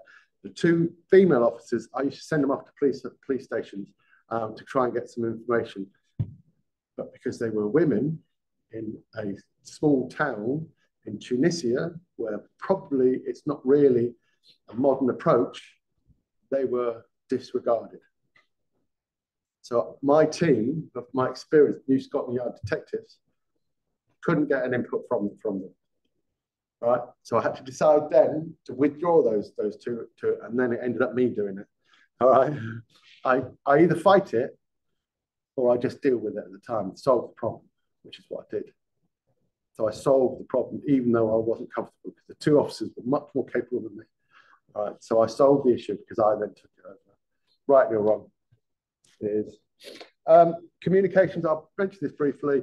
If you are in the UK, you've got this phone with you. It, it, pretty much everywhere you go, you've got a signal. And if you haven't got a signal, it's a major inconvenience, isn't it? All right. Over there, the signal was 2G at the time. We were on 4G, but they were 2G. All right. There was just no communication. So I was calling up Tunis. My, my, I had a team in Tunis all right. And the, so my my phone was a UK mobile, it's going off one satellite, bouncing around satellite, and then ending back in, in, in Tunis. And it was a 30 second delay between my um, my me speaking and the other person hearing what I'm saying. Do you remember what I was saying? Comms is key in a crisis. Communication is key in a crisis. In the end, we had to observe radio protocols. So I would say over and then I would sit and I would wait. But you can't have an effective conversation like that if you if you were doing that. So we had all kinds of issues like like that. Um, mission creep, I mentioned that quickly. I was the only, I was the senior officer as a detective sergeant. So I was like three ranks. I was like a sergeant, but Um, uh, but I was the senior officer in Sousse, in the area itself. My bosses were up in Tunis and they were ringing me up saying, can you do this? Can you do that? Can you do this? So that became what we call mission creep. As a leader, all right, first of all, try and make it limit the mission creep on yourself. If you have got a role in crisis, try and keep your role to that. Now, as a leader, it's going to be difficult to do that. Okay, you are going to have to have what they call mission creep on it, but try not to involve other people in your mission creep. And I'll, sh I'll show you why, why later on, because it reduces the impact of, of their efficiency during, during this really important time. Right, pressure from London. Again, that was a huge thing for us. Um, we were having telephone calls from members of the par parliament ringing us up. We, they needed to know information left, right, and centre. All right. I say this, equate this to a, a, a CEO or a, a, headquarters like the travel industry. All right. They've got a crisis centre set up um, and they start ringing the people on the ground. And every time they ring the people on the ground, um, that person is being taken away from the job that they're doing because they've got questions. If you train that person on the ground properly, right, they should be able to deal with everything without your constant interfering, without your advice. All right, never ever fail your staff by not training them because it's too, it's not cheap enough, or it's you know, it, it's too expensive. If you don't train your staff, you haven't got proper staff. And this is a classic example. All right. So if you want to find out stuff that's coming on, in my case, I had been trained, so I was all right. But I ended up on phone calls, Cobra calls, they call them uh, in those days, with as part of the cabinet. I was ring, they were ringing me up, and I was saying, "Well, this is happening to the prime minister." All right. So we, it came, and I didn't want to get involved in that because I had my job to do with the family but I ended up having to do that sort of thing as well. So you have to also be dynamic. That's the other thing. I'm, I'm, telling you not to do mission creep if you can, but you have to sometimes do that sort of thing. So you have to be dynamic as well during during um, during crisis. Right, I'm going to tell you a quick one about. Do you remember the lady that in the pink bikini? Her son um, was a registered sex offender. He'd assaulted someone in a nightclub uh, and he'd done three months in prison. He'd come out, he was on a tag, so he had a tag around, so he was on the on the bail sort of side of things. He was at the end of his, his sentence. He wasn't allowed to leave the town that he was in. So this attack took place on a Friday. He got a special dispensation from the magistrate, and they said, yes, you can leave and go and do that identification process. So he flew over to Sousse with his uncle and his girlfriend. His girlfriend had stuck with him because during the sexual assault era, she'd stuck with him uncle hated him because he said thought he was a sex offender. So the uncle had no time. He was only interested in his uh, in his sister. The guy, the sex offender kid, his dad had died. So within an hour of landing, he was on his way up to Tunis, and he had to go through all that identification. So he'd gone through through through that trauma as well. He then had to manage that family because the uncle hated him. The girlfriend was really, really wavy you can understand that, understand that way. Her mother, the mother who survived, um, she wasn't expected to, to save that stay the night, survive the night. So we took them into the into the hospital. They stayed the night after we'd done the identification. Stayed the night. We stayed with them. Um, she was taking them back to the UK. They'd taken three bullets out of her. In the UK, they found another two. All right again, to be fair to the Tunisians, they didn't have what they call the MRI scans. They put through this lady through the MRI scan and, and, and did that. But what I'm trying to say is here, there's no such thing as a happy family. there's no such thing as a perfect family. That's a better way to say it. It's chaos and confusion, especially in times of crisis, and accept that and deal with it. Deal with it. Uh, um, Theresa May, she was the Home Secretary at the time. She turned up. This is what I talked about when you're a leader. She was not a leader in this occasion. She turned up, uh, got a photograph taken on the beach, all right, uh, and did nothing other than that. Uh, senior politician, the Home Secretary, number number three in the government, all right, but she turned up. Uh, in that time, all the staff were all concentrating on her, and the only people that were concentrating on the families were my, me and my three staff. So her management decision, her management, her decision to do that completely impacted on on on on the, the, effectiveness of, of our operation. I could go on most, you know, for another hour, what other issues that we had, including me almost having to stand up five percent. That seems to be tone. Uh, I'll talk to you about media briefly. Brilliant most of the time. When they're bad, they're really bad. They cause you unbounding because they get the story from their point of view. We were in, remember I told you about the comms? We had a Skype at 11 o'clock at night with, and the only place that we could do it was in the main reception of this hotel. So there's eight or nine of us in the reception of this hotel. Huge. It was about the size of this reception area. It's about the size of this whole area. And we were sitting there waiting for the Skype. And we had soft drinks because we were still going to work, and then we were going to work, work the next morning. So we, we were surviving on our four or five hours sleep, and the photographs were taken of us sitting there with drink. So I went over with the team leader from the Foreign and Commonwealth Office to the bloke who take the photograph, and I explained to him exactly what happened. The bloke who take the, the, the, the Foreign Commonwealth guy wanted to rip his head off, all right, because he was absolutely furious that that photograph didn't represent what it looked like. Do you know what I mean? So that's why I'm saying media are brilliant, but they've got their own agenda. And their agenda is to make you, as the establishment, look bad. So bear that in mind. Quick one about exhaustion before I move on to the, the main thing. So last sort of day, Friday, didn't know it was going to be the last day. I'm doing the 5.30. I've been up since 4.30. haven't got to bed since until 2 in the morning. This is on Friday, almost a week after this event ran. So I've been working on 18 hour days. Uh, I'm in a van going up to the, up the motorway. I've got some, some um, uh, travel reps in the back with me. I've got another police officer in the back with me. They're all asleep. I've got a driver who is giving it out about how this is all a big Israeli problem, that it was caused by Israelis. He's giving out to me about this. I couldn't care less at this time. and so I'm going, yeah, yeah, but he is really verbose about it how it's the Israelis' problem that they caused this, they ruined his country, they are responsible for this, for this attack. I pretend to be asleep to go to avoid him. I, um, get into my into the, this, you know, he's driving up the motorway, big motorway, normal motorway, desert either side. As I'm lying there, there and pretending to be asleep, he comes off the motorway on a dirt track. He literally just across head shoulder onto a dirt track. That wasn't normal. I'd done that journey before. That wasn't normal. So I'm sitting there going, that's not normal. Uh, there's a village. I see this village ahead of me. My head goes, he's going to kill us. He's going to take us there and he's going to make us hostages. It's exactly what he's going to do. He's going to put us in, in orange jumpsuits and then they're going to execute us on camera. That was my thinking. These are, do you remember I said police like free stuff? This is the pen. 10 years old, this pen now. In the old days, these big pens, please like these because they're really sharp at the top. Conversations we have at three o'clock in the morning, cool, you can hurt someone with that. Uh, I had one of those in my in my pocket.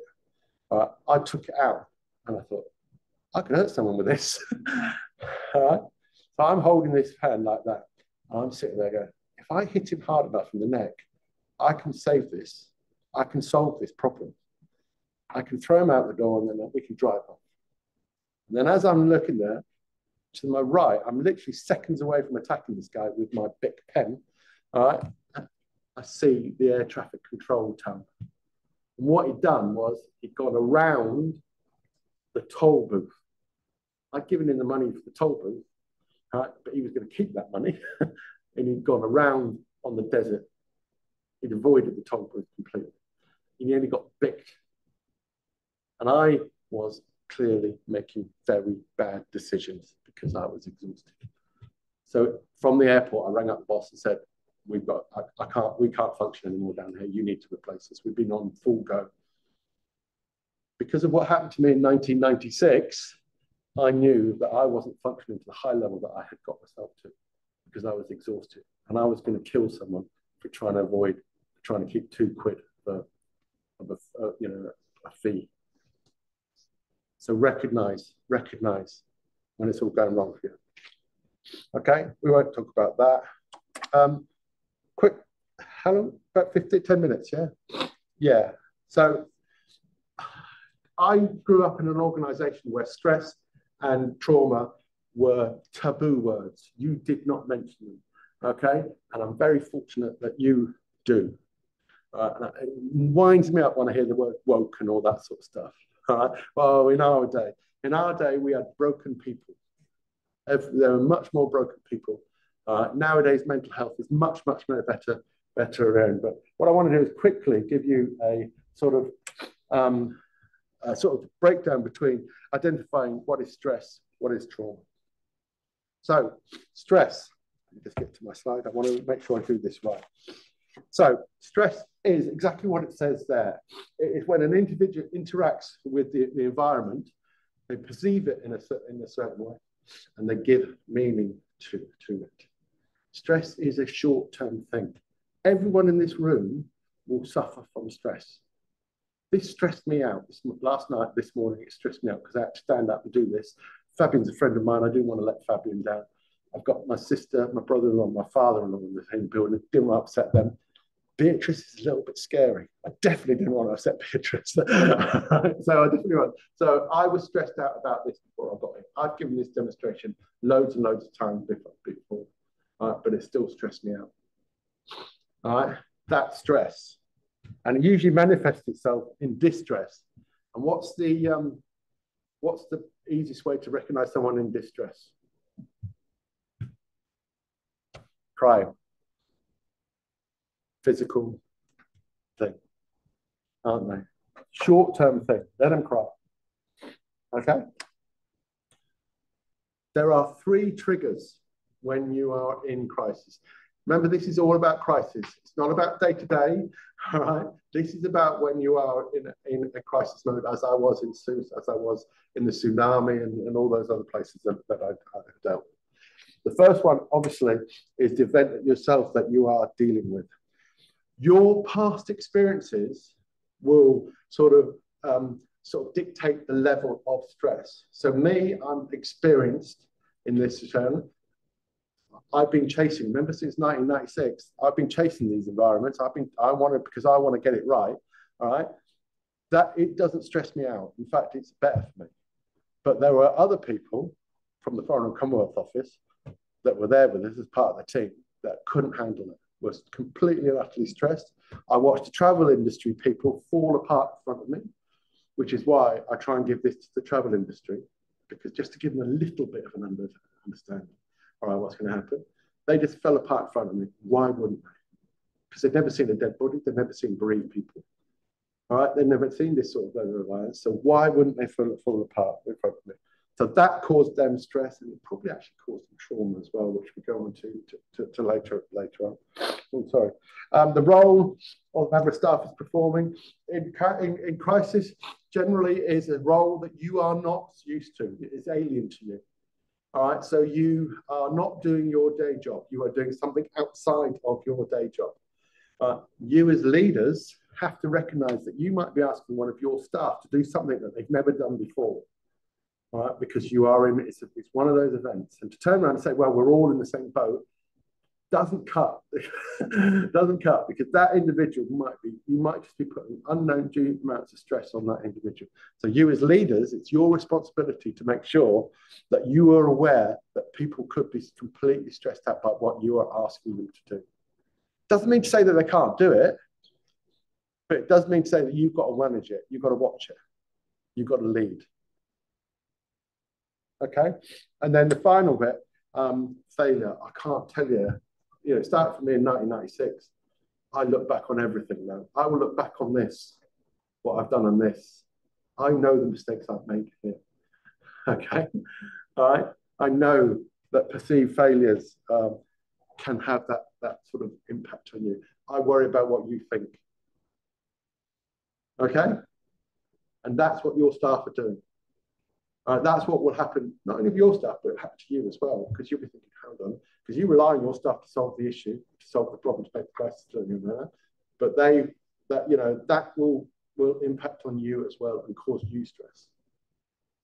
So it's really, really important that you become aware and you become, you know, the, the, the moment it happens, staff care of your team is paramount to you. It's more important than solving the issues. More important than the event yourself you're dealing with, right? Because you've got to carry on working with those individuals later on. And that, as a, as a sergeant in charge of a team, detective sergeant in charge of a team, that was me. When we landed, it was, I was on the on on the on the team all the way through. You're right, you're right. Constantly checking. I knew them well, so I knew that there were, if there was any behaviours that was a bit odd, I would deal with that. So, what are the signs and symptoms stress? There's loads. I wrote it down. Um, if I've arrested someone, um, there's usually sort of they're a bit red faced. Um, they get they're perspiring, they're perspiring. My God, they talk quickly. Especially, they either don't talk at all or they talk really, really quickly. Now, I haven't arrested someone for a very, very long time because I was a detective and I had people do that for me. But back when I was younger, all right, that was definitely occurring. It. it was they were overexcited. They would talk quickly. Um, they would, you know, they would be angry. They would, they would, they would. Sometimes they would be crying. But the base ones that you have to look out for, and if we had more time, we would have we would have got it out of each other. You know, I've done it one to one, but my apologies. But uh, but because we haven't got no time, these are the ones that you have to have to look after. This is why you get to know your staff before you go into crisis. Okay, you get to know what their habits are. You get to know what their families, who their families are. Have they got issues at, at home? Take all that on board all right, because you're going to have to listen to some of this. You're going to have to cut through some, so, you know, accept that because you'll be able to see the change in them when you're in crisis mode. You'll be able to see all of these things. All right, is someone drinking too much? You'll be able to notice that if you know your staff. All right, why are they drinking too much?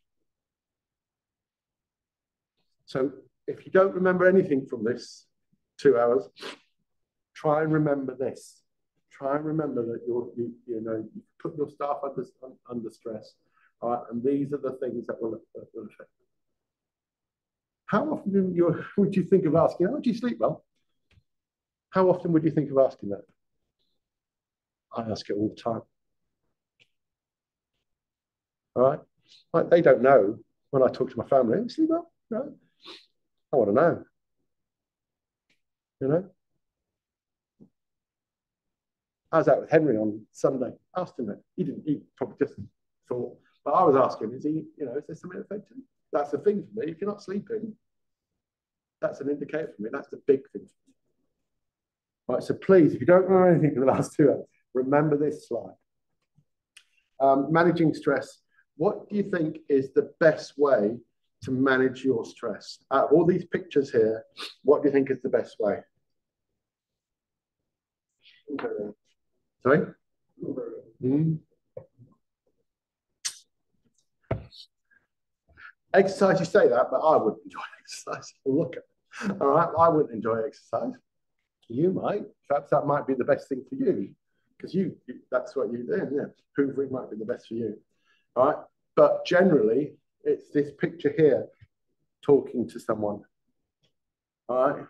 Talking to your peers may solve your problems or maybe allow you to manage your problems so that you don't end up talking to a psychiatrist. And it's your duty as that peer to listen to them.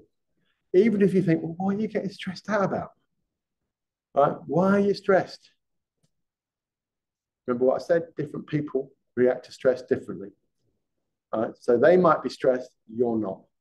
Still your, it's your duty, not only as a boss and leader, as a human being to, to help them out as much as possible. What's the worst thing?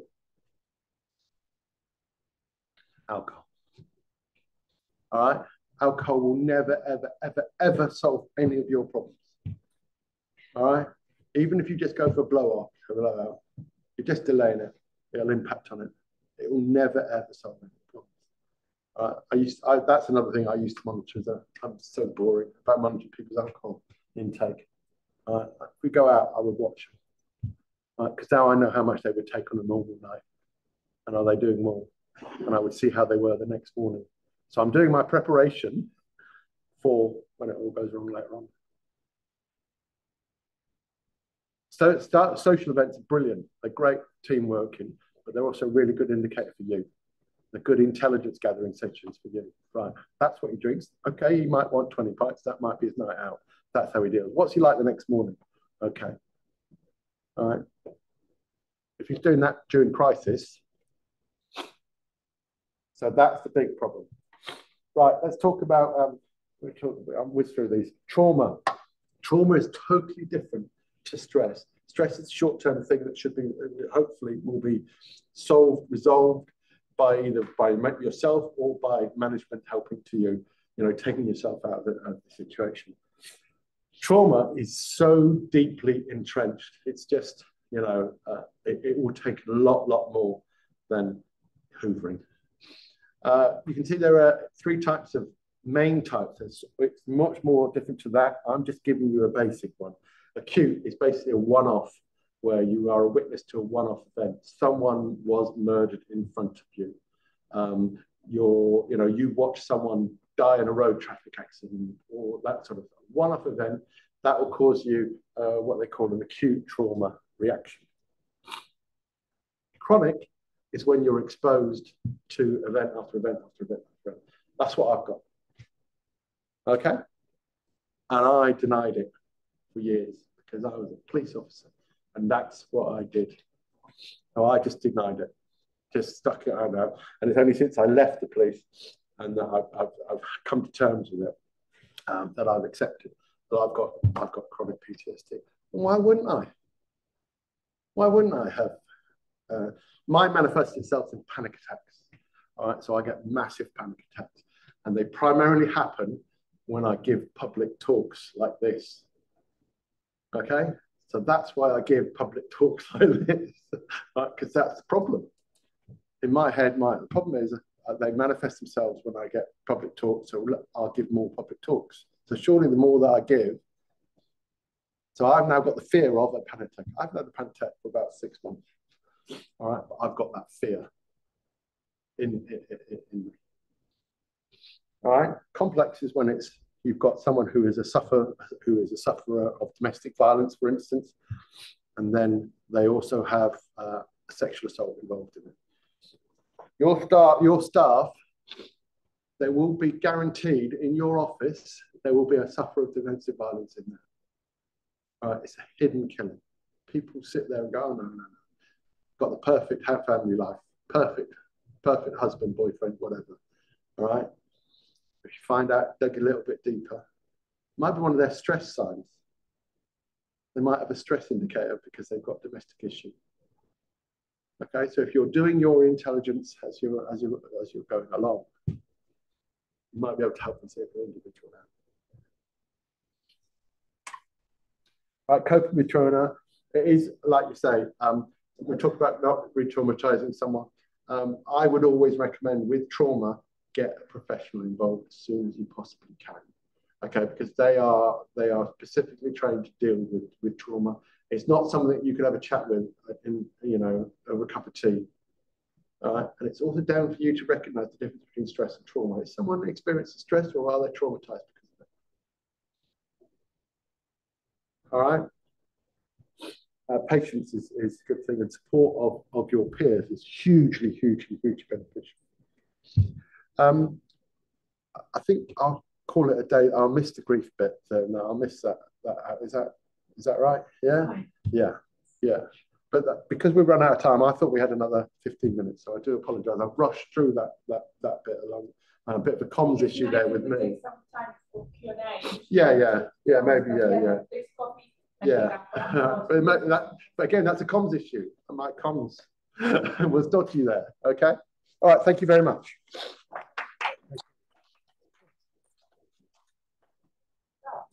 Yeah. Yeah. Were you were, were you scared after uh, I, I don't know is the answer. I don't know if I was scared. I know I reacted, and I know that I've done. That's what I I know now that I go that way. So I've gone into buildings. I've gone stuff where I shouldn't have. Uh, how long did you uh, do this uh, for one one crisis a generation? How often do I? Yes.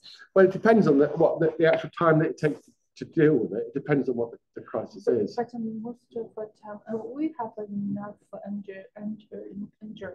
Yeah. And uh, if the crisis uh, lasts uh, so long, and how can we deal with uh, Yeah. There has to be an exit strategy. There has to be a close to it. You have to recognise you as a, as a leader that that's what you have to do.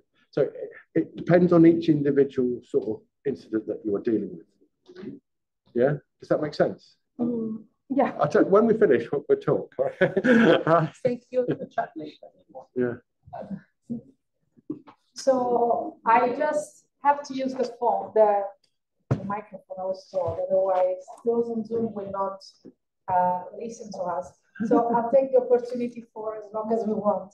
We have coffee and cake at the rear of the room, but before we, we go to there, I think I wanted to just have a, a couple of um, yeah, points of reflection of how I interpret. I take here the, the, the leadership uh, as the chair of the session. Uh, taken lots of notes. I agree on uh, Mike's point, right? We need to take notes. I always keep telling this to my students.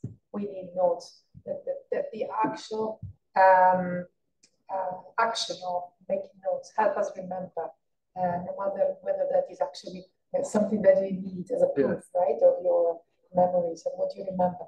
But I think uh, something that really came out of your talk is first, whenever he and his colleagues were going on a scene, uh, you didn't know what to expect. No. So, and every time it could be a different outcome, and you have to deal with that. Now, that's very much like what it would be like working in an organization.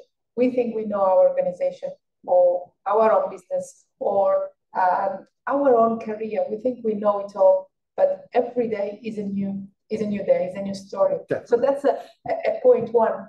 Uh, and the second point, I think, is also this idea of uh, not being able to control the. We, we basically have to train ourselves to operate in a situation of no support.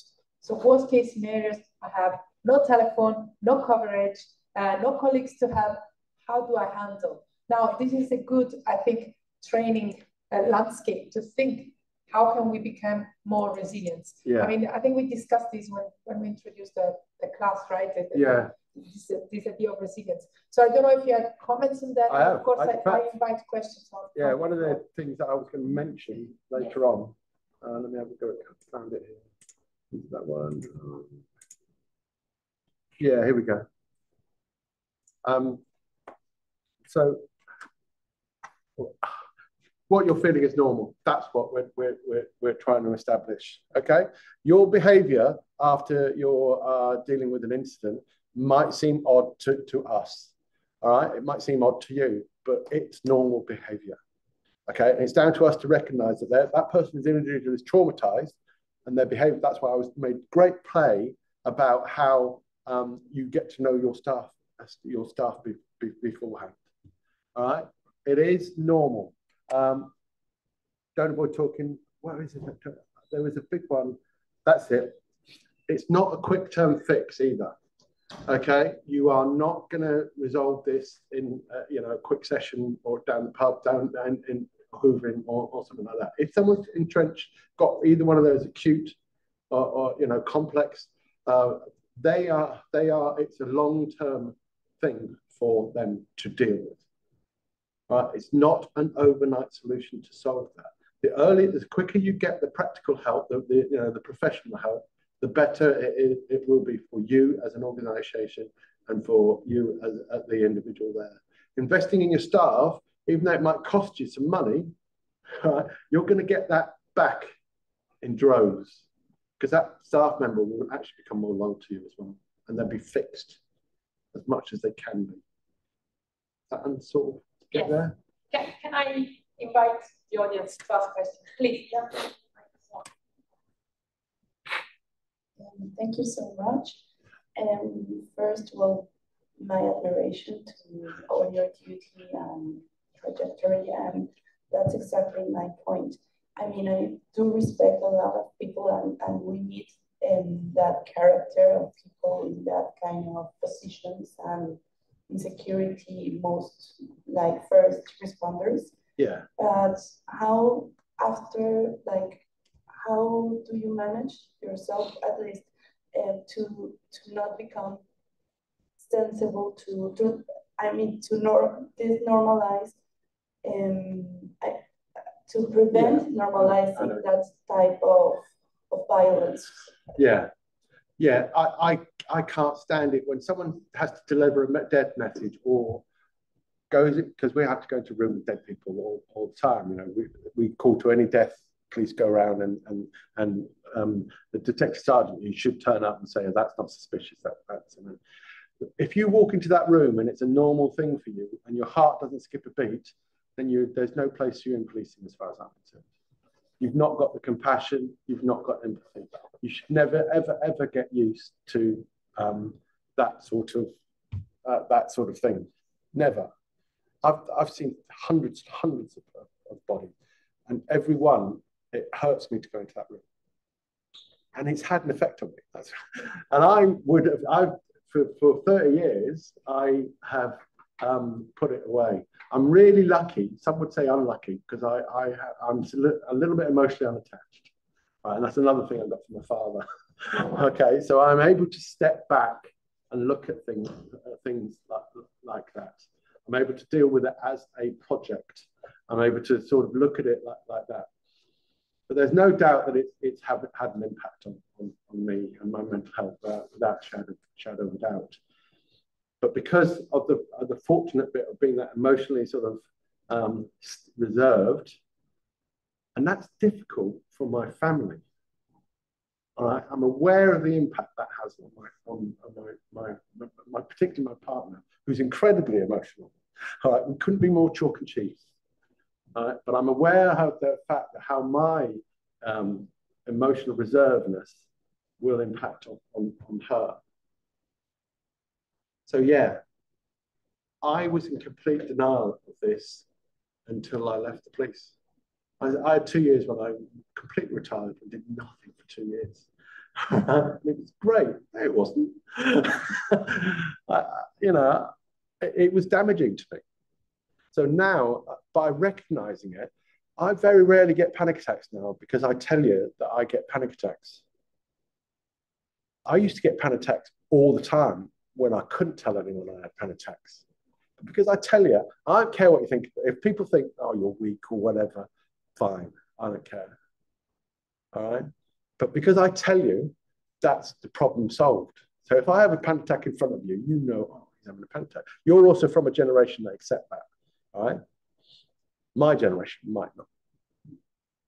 So that ability to put things away in a box is, is essential for your own sort of mental health and also for your, others, but not to the fact where you're suppressing your your your feelings. Your, you know, if you're putting away, forgetting about it, yeah, that's damaging as well. It's a real fine line. It's a real, real fine line, which is why always make sure you've got a best friend, okay, that you can talk to uh, about. Does that make sense to you? Yeah. Are you agree? Are you all right with that, or? Fine. Yeah, yeah. Please. There is no right or wrong. No, there is. There's no stupid answer. There, there, so, Vas, thanks for the presentation. Um, I'm a case consultant in the school, and then um, we get asked a lot by our employers that our students should be more resilient. Yeah. And that's something it's really hard to teach to our students how to become resilient, especially in this generation. You know, uh, latest stats published yeah. uh, yesterday saying that uh, the population of 18 to 24 year olds suffer from mental health. And that's yes. Yes a yes. big issue. So what advice would you? So, so I, I know that I, I see that because I've got a 24 year old daughter and uh, my God, everything's a drama for her, everything. All right. So she's gone too far this, this, this way. I mean, she's had to endure, her mother died. All right. She's 24 years, she, she watched her mother die. All right. So she's had to endure, endure trauma, but I know that she is, um, that, that it is a common thing that is, is, is thrown, at, thrown at the youth of, of, today. I don't necessarily agree with it, um, but I do see that resilience is really, really important for, for you as a company, as an organization. And if you have dealing with staff members that are that cannot cope with what you are doing, it is a huge problem for that that company, isn't it? In the same way as it is for for for policing. Uh, my police officers, I I expect them to go towards the trouble, not move away from it unless they're in danger, obviously. Okay. Now, in terms of resilience, it's a real balancing act, Fabian. And I, I can see from both sides of the picture because I, I, I bet a lot of those people that are talking about resilience come from my generation. Okay. And they've got, you know, what they'll be sitting there going, look at him talking about his panic attacks and his, you know, and so so they come across that. So it is a fan balancing act because there is there are times when people got to suck it up uh, and I've been in those situations where you have to go, right, we have to suck this up. We have to deal with this ourselves. And we have to cut through it and, and, and carry on because we rely on other, we're, we're, there are other individuals there that, that, that need, need, need our help. So it's easier in policing in, in, in that respect because that's what we, have got to do. Business wise, it, has got to be a two way street, hasn't it? the staff, the, the, the leadership, the, you know, have got to do exactly what I'm doing. They've got to invest in their staff. They've got to be, be able to underpin um, them, their, their staff's mental health. When I was in the Air Force, we had a guy called um, General Schwarzkopf, who ran, who was an American general, and he um, ran the first Gulf War um, uh, thing, the first Gulf War in 1991 that, that, that, took place. He came out in 1990, I was still in the Air Force at the time, and uh, he gave a lecture in a very much in a room like this, and he was like a huge general, massive general, big, big figure in there. Uh, and he was sitting there talking. We all got forced to go and sit and listen to him talking about it. And his, his whole message to the leadership team around there was prepare your staff for the time when you are asking them to run up the hill into a machine gun. All right, get it so that they will do that for, for you. Uh, make sure that their conditions, that their working conditions, you know, make sure that everything is is right for them. It's like the Galacticos and the football teams, you know, the footballers get everything is they just walk in and play football because everything else is done is done for them because that, that's still they know that they are high performance athletes that they need to focus on uh, focus on, on that. So all their mental health, if the Premier League or the football clubs are spending money on a player's mental health, as we know they do, that shows that they're investing in that in that player, doesn't it? So it's a balancing act, and it's it's more resilient. It's more on the company to actually to address that resilience as well. So the company have got to say, turn around and say, right, we've got to change our policies so that we can make sure that those individuals are resilient because they know that the support that we are going to give them. And at the same time, the people in the, in the, in the, in the front line are going to have to do the reverse. I'm going to have to power through some of this and deal with those issues later because the company are going to help me do that. Any more questions? Thank you for your speech. And I have a question in fact, uh, what's the most important thing to make a decision when, when we face some urgent uh, crisis? So first of all, get the right staff. That's your, the, the team that you have around you are, are going to be your bed, you know, the, the linchpin, the bedrock of getting, getting it right. All right. And secondly, make sure your communications are correct. And thirdly, make sure you know what your, your strategy is, what your objectives are. What, what are you hoping to achieve at the end of at the end of it? What's that about?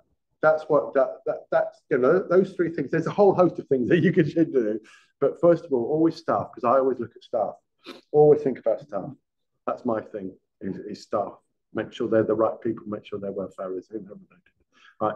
Strategy right, but you've got to make sure your objectives are there. When I go into a family dealing with a murder, all right, I'm I'm thinking of leaving them their exit strategy from it. All right, when can I do that? Okay, so long-term, long-term term planning uh, uh in that respect.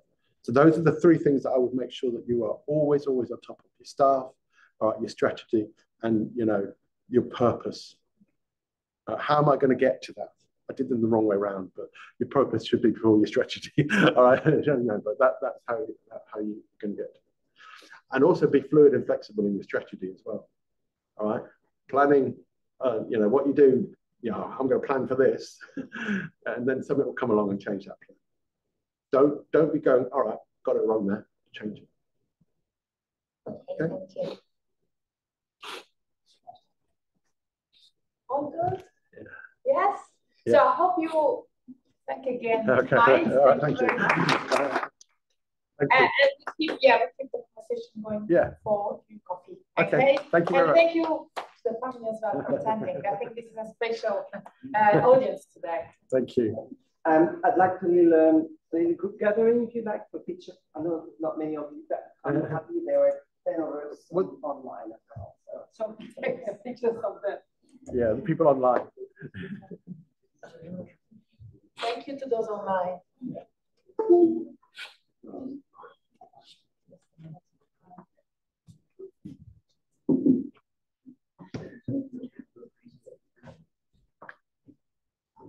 I'm sorry, I was not you. No, but it's. uh, Yeah. Yeah. I, I think I'm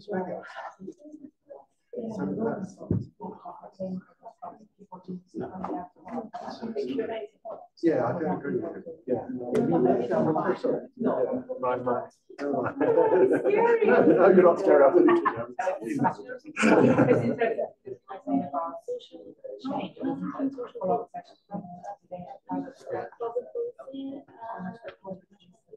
Ah, Yeah. Yeah. But To be fair, they are, but it's down to private individuals. Yeah, yeah. Yeah.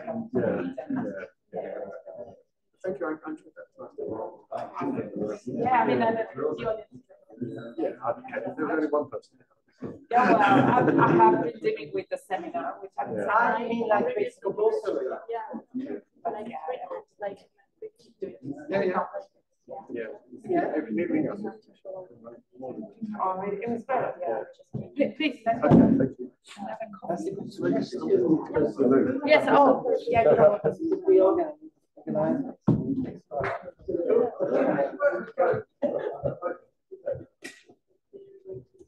That's a good idea. I'll remember that.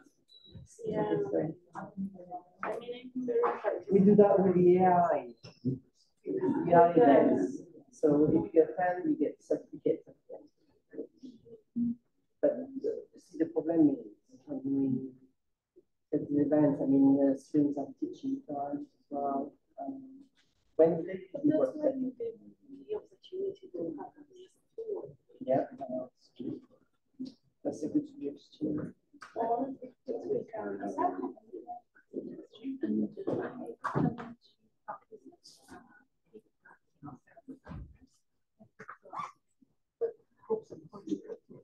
uh, Visit the company.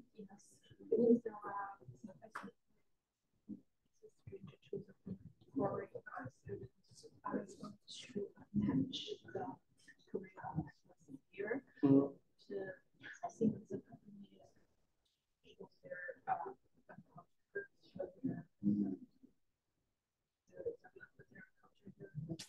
Something, I think is, uh, uh, we, we can do, uh, what is it, we all benefit from this, uh, activity. Yeah, but do you check on handshake sometimes every company visits? um, On handshake? handshake. Yeah, you check on handshake the events? Um, Okay. You mean like having a visit of the company? Yes, for example, uh, two, um, twelve, uh, of the things. Can we picture? Oh, yeah, sorry, sorry. Shall I take it? I don't want to be on it. I want to, but uh, if you go, I'm happy. Uh, the sister as well. because She has a she arrived late. Donald, Donald, It's funny because my mom is always wanted to, to come and listen to one of my lectures, like, you can't, You but you're in a family. Uh, My mum can't either. Just press, just press the button, I guess. Okay, Did you get guys, everybody? Make it a big poop and full of. Oh, can you put a nice slide of it? Oh. I'll take the slide off. Uh, you, will oh. um, yeah. The call is off, right? After those ones. Uh,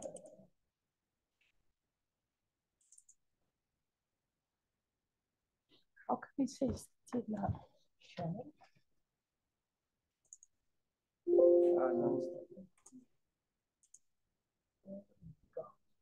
Ah, no. Ah. Do you want, do you want, do you want the thing? Do you want the, The slide. Unity.